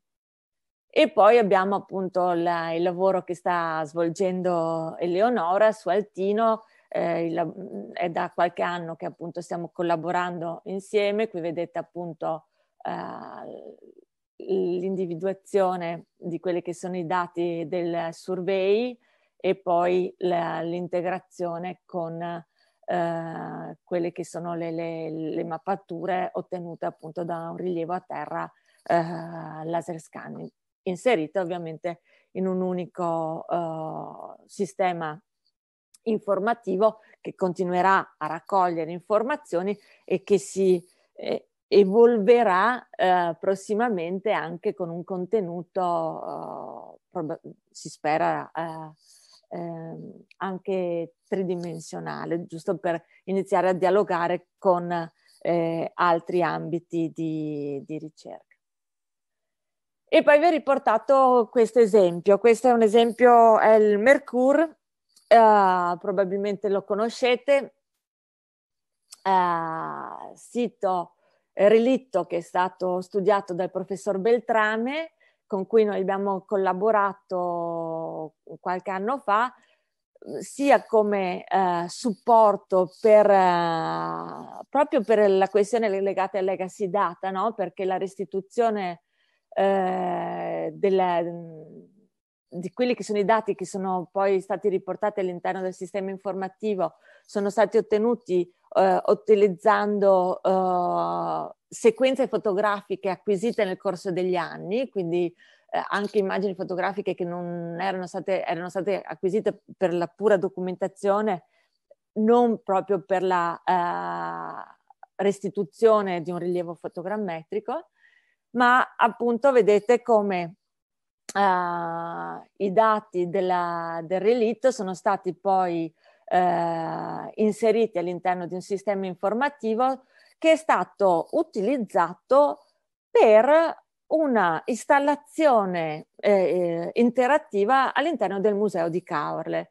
Oggi il, se andate a visitare il museo, non so, probabilmente qualcuno ci è già andato, ma eh, ve lo, vi consiglio appunto una visita proprio perché eh, la, la, il percorso espositivo coniuga la, la conoscenza archeologica con quelle che sono le conoscenze legate al rilevamento e quelli che sono i nuovi sistemi di comunicazione digitali, per cui eh, dall'uso di, di eh, superfici tattili che possono essere interrogate a touchscreen piuttosto che repliche su cui viene fatto il videomapping, proprio per andare a ottenere eh, una modalità di fruizione aumentata anche per un pubblico di non specialisti. Qui vediamo altre immagini uh, della il, il reletto del Mercurio ci ha dato lo spunto appunto per parlare di archeologia subacquea e quindi sottolineare questa collaborazione con il professor Beltrame. Anche l'archeologia subacquea ha avuto una sua evoluzione eh, dagli anni 90 ad oggi proprio grazie a quelle che sono le nuove tecnologie, per cui eh, noi che ci occupiamo di fotogrammetria preferiamo parlare di structure from motion piuttosto di fotogrammetria digitale perché in realtà eh, sono software che vanno a implementare algoritmi che nascono per la computer vision con quelli che sono i principi analitici della fotogrammetria. E quello che si ottiene appunto è un ambiente di lavoro, di restituzione che ci permette di essere un po' più snelli nella fase di acquisizione. È ovvio che per aumentare quella che è la precisione, che rimane per noi appunto uno degli obiettivi fondamentali, è necessario fare un trattamento dei, dei, dati e questo trattamento dei dati riguarda anche la fase di calibrazione, ossia è vero che possiamo fare un rilievo utilizzando una qualsiasi apparecchiatura, quella che risulta essere più adatta proprio per il contesto in cui noi andiamo a operare, però è anche vero che dobbiamo andare a fare una, trattamento di questa strumentazione per verificare quali siano le precisioni ottenibili. Per cui in questa immagine vedete tutti i diversi sistemi di calibrazione che possono essere utilizzati direttamente nella fase di acquisizione in acqua, perché voi sapete bene che eh, se noi andiamo a calibrare il nostro sistema eh, ottico, la, la, nostra fotocamera all'asciutto, non andiamo a considerare tutta una serie di sistematismi e di eh, errori che eh, possiamo avere invece nel momento in cui ci troviamo appunto immersi nell'acqua. E, giusto per farvi capire che noi siamo ossessionati dal sistema di riferimento, questo è il caso di Granitola, è un sito che ha una profondità abbastanza contenuta, per cui siamo riusciti a fare un appoggio topografico GPS andando a utilizzare una, uh, una palina che raggiungeva, superava i tre metri, su cui abbiamo appoggiato il, il ricevitore e quindi uh, siamo andati a fare una, un appoggio GPS anche di questo sito archeologico. Questi sono i dati restituiti, sono elaborati da Elisa Costa, che è appunto è assegnista di ricerca eh, presso Ca' Foscari, che collabora appunto con il professor eh, Beltrame e queste sono appunto le restituzioni che noi possiamo ottenere. Vado verso la conclusione, questi sono altri casi applicativi, eh, anche nel caso di reperti fossili, questo è il, il, lo scheletro, il cranio di una tigre dai denti a sciabola. Mm, questo può essere uh, il punto di partenza poi per una ricostruzione anche uh, legata appunto alla, alla, a ottenere delle informazioni sulla, sull'animale che, che, appunto è stato ritrovato in, in, forma fossile. E poi ritornando appunto a altri reperti fossili, qui è il caso di una pistola che era stata trovata all'interno del Mercure, eh, qui vediamo appunto il rilievo fotogrammetrico con una veloce georeferenziazione, la fase di processamento e poi arriviamo fino alla costruzione de- della replica. Replica della pistola così come è stata trovata eh, nel sito subacqueo e quindi poi è stata eh, um, replicata in maniera tale che potesse essere più facilmente fruibile rispetto all'originale ed è stato il punto di partenza per questa animazione che voi vedete, in realtà era video, un video mapping, quindi eh, interagiva proprio con uh, le, le, repliche prototipate per cercare di uh, esprimere di raccontare appunto il lavoro che era stato fatto rispetto all'acquisizione della, di questi dati nella, nel sito eh, sommerso e quindi eh, dare la possibilità a tutti appunto di eh, comprendere meglio eh, il racconto che, viene, che, da, che è dato appunto all'interno di un percorso espositivo. Io concluderei con questo, sono andata forse un po' troppo lunga. Grazie, no, ma ti abbiamo lasciato andare perché era molto interessante e soprattutto così è stato, è stato completo. Tra l'altro accogliamo volentieri l'invito di andare a vedere eh, il museo a Caorle sperando che riapra a breve. Sì, c'è anche, c'è immagino... effettivamente. E, e, salutiamo e ringraziamo anche Elisa Costa che ho visto mh, mm, ci, ci, sta seguendo. Um, Così giustamente l'ho citata. Ecco, eh, beh, interessantissimo eh, tutto. Io volevo solo eh, fare, farti una domanda un po' più metodologica. Ehm, la geomatica, ad, tutto quello che ci hai raccontato, hanno mh, dato all'archeologia veramente gli strumenti per fare un passo avanti eh, che negli ultimi anni, negli ultimi decenni abbiamo visto, abbiamo vissuto eh, e che è innegabile. Eh, secondo te, due domande. Uno, vale anche il contrario, cioè lavorare su archeologia e beni culturali? Chi si occupa di geomatica è eh, stimolante, nel senso che pone davanti a, stime, a, a sfide nuove, ma sai, Oppure... la, la, mm. la, la, conoscenza multidisciplinare è sempre stimolante, no? Perché noi arriviamo fino a un certo punto e poi c'è comunque la necessità di avere il supporto di un altro specialista, per cui hai visto anche nelle rappresentazioni, nelle planimetrie di Laodicea, è evidente che eh, il nostro contributo era quello della documentazione dello stato di fatto e poi eh, inevitabilmente c'era bisogno di qualcuno che sapesse leggere quelle pietre e che poi potesse dare indicazioni per una possibile ricostruzione, per cui è sicuramente stimolante. E, ehm, mh, con tutte le difficoltà che ci sono, devo dire che rispetto ai, prima, ai primi anni, diciamo che mh, c'è stato un avvicinamento alla, alla, alle tecniche del rilievo maggiore negli ultimi anni rispetto a, eh, a quando io ho iniziato a lavorare. Ricordo la prima esperienza è stata fatta a, all'Imnos, che era l'immagine che abbiamo visto nella copertina della presentazione, dove io sono andata a lavorare con il professor Tinè per fare proprio la documentazione di scavo. E la cosa divertente era che il professor Tinè non si fidava assolutamente delle nostre misure, per cui la sera andava a ricontrollare con la bindella quello che avevamo fatto. E, e ovviamente con, uh, con, uh, insomma, faceva sorridere un pochino questa situazione. Certo. Però c'è, la, c'è stato proprio la collaborazione è aumentata nel corso degli anni e credo che questa possa dare valore sia a chi si occupa di geomatica, di rilevamento, preferisco, scusate, mm-hmm. eh, che ovviamente a, a, chi si occupa di archeologia nel senso più esteso. Ecco. Certo, per noi è veramente stato secondo me un, una, una rivoluzione che ci consente di avere dei dati che, che, prima non avevamo, molto più completi, molto più precisi. E questa è anche un'altra cosa che, che ti avrei chiesto, nel senso, um, finalmente abbiamo questi dati tridimensionali.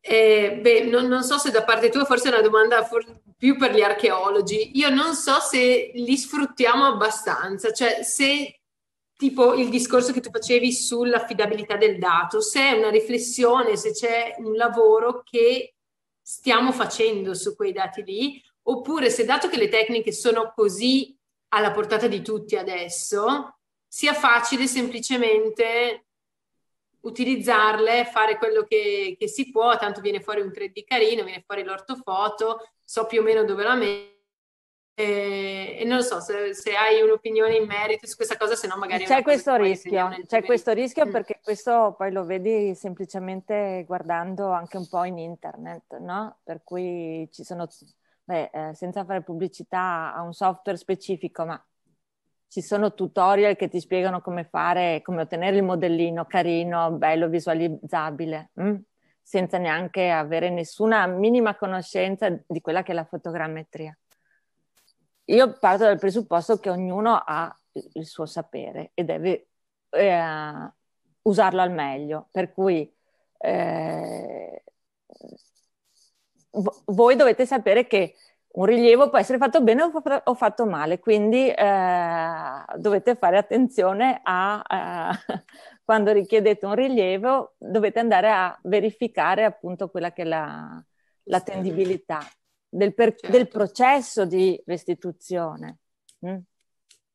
Poi sono la prima a dire che dipende, cioè, dipende, sempre da quello che devi fare, perché è anche vero che nel momento in cui tu hai bisogno semplicemente di fare una documentazione veloce, appunto vuoi una cosa che possa essere visualizzata velocemente, va benissimo, cioè non stiamo là a fare... Eh, a, a controllare la precisione eh, se certo. è millimetrica, se rispetta la scala 1 a 10, no.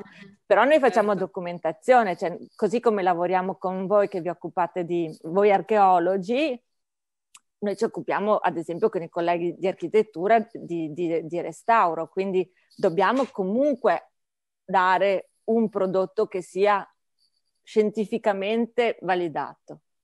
Certo. Vedo Gabriele, non so se vuole aggiungere qualcosa.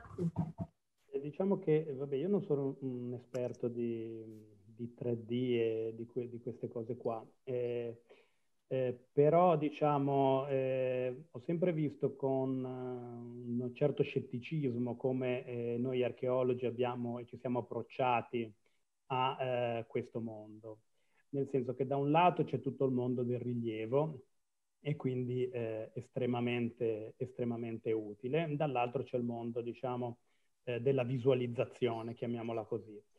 Eh, l'archeologo ha spesso utilizzato, diciamo, questi sistemi per uno scopo fondamentalmente divulgativo, eh, di visualizzazione.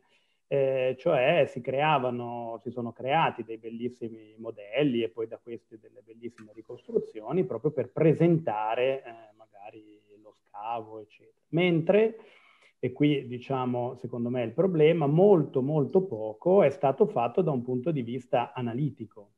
Cioè questi strumenti sono stati poco utilizzati da noi archeologi come eh, dei dati su cui poi creare, de- fare delle analisi e costruire interpretazioni, modelli, ipotesi, tutto quello che, che volete, che vogliamo.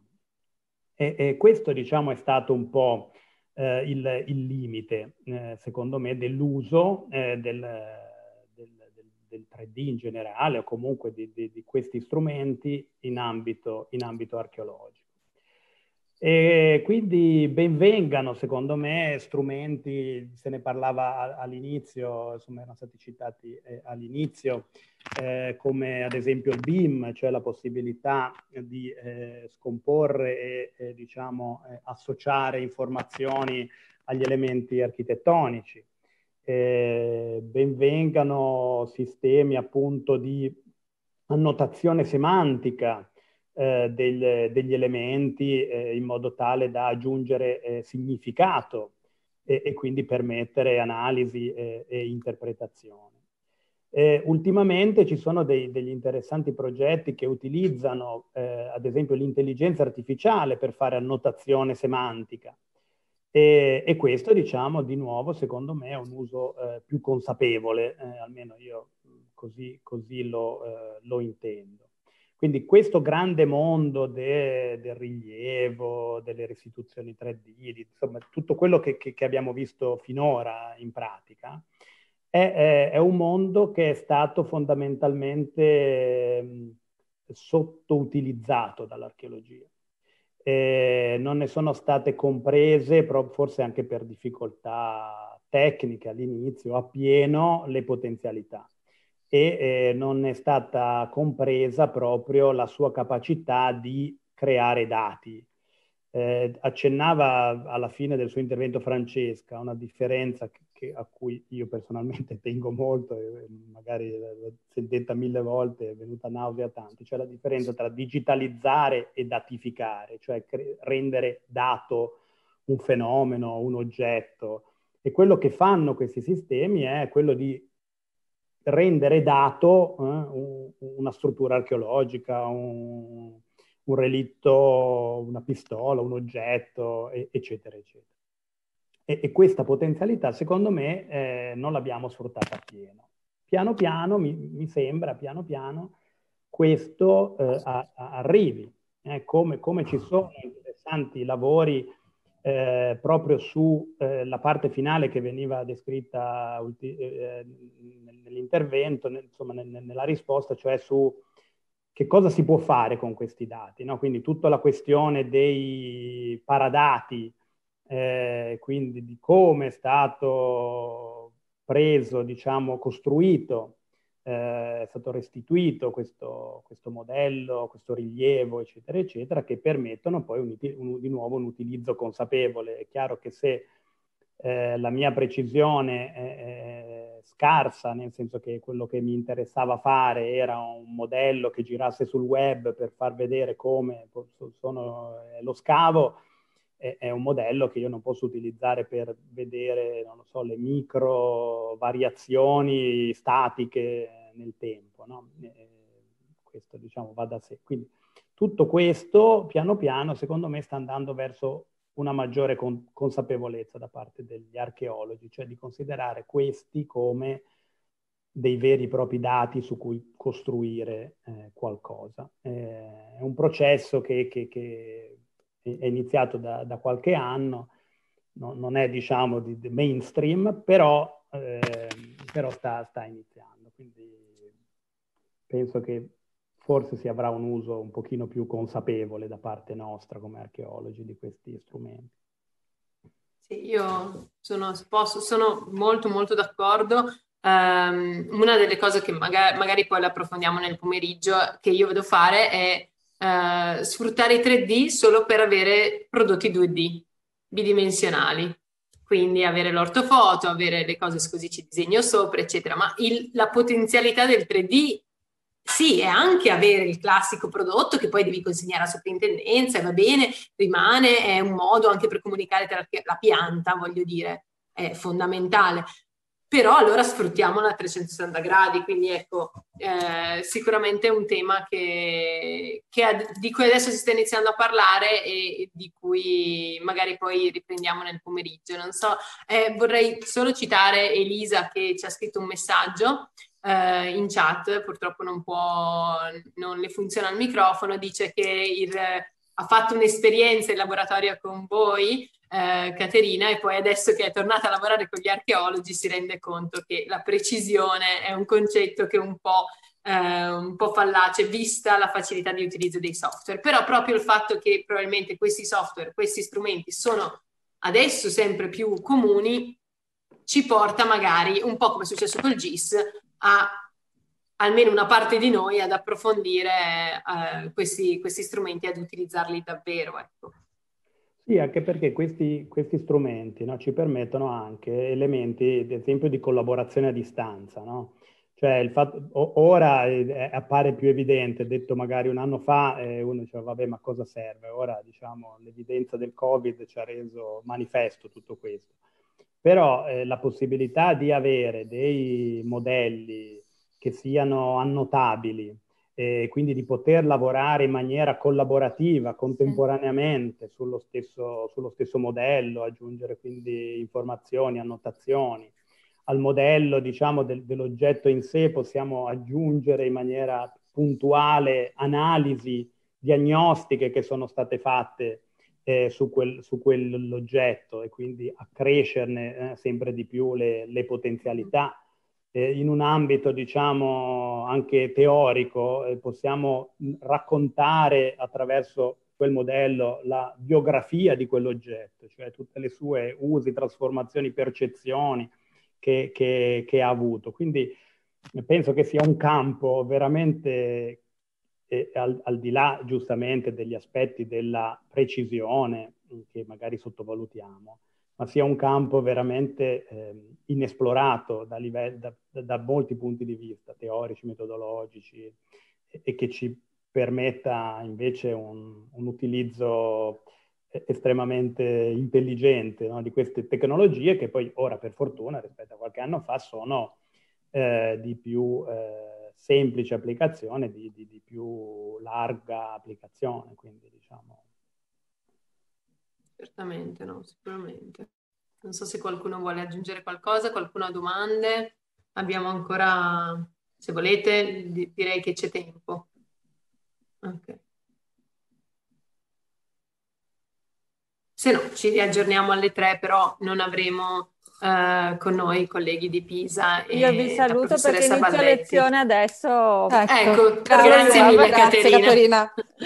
grazie. grazie a tutti, grazie a voi. Grazie. grazie, a presto. Bene. Non so Elisa se... Ah. No, vedo che non ci sono domande, ma mm, quindi Elisa Costa conferma, insomma, quello che dicevi tu, Gabriele, eh, che stiamo noi archeologi acquisendo e implementando le nostre conoscenze, quindi sì, assolutamente siamo d'accordissimo e sarebbe bello poterne parlare con più, con più calma perché è un tema veramente interessante. Non lo so, eh, io a questo punto è l'una, ci, ci, mi fermerei, insomma, cosa dite? E ci, ci vediamo più tardi con chi può esserci eh, ci vediamo verso le 15. Cosa dici Eleonora?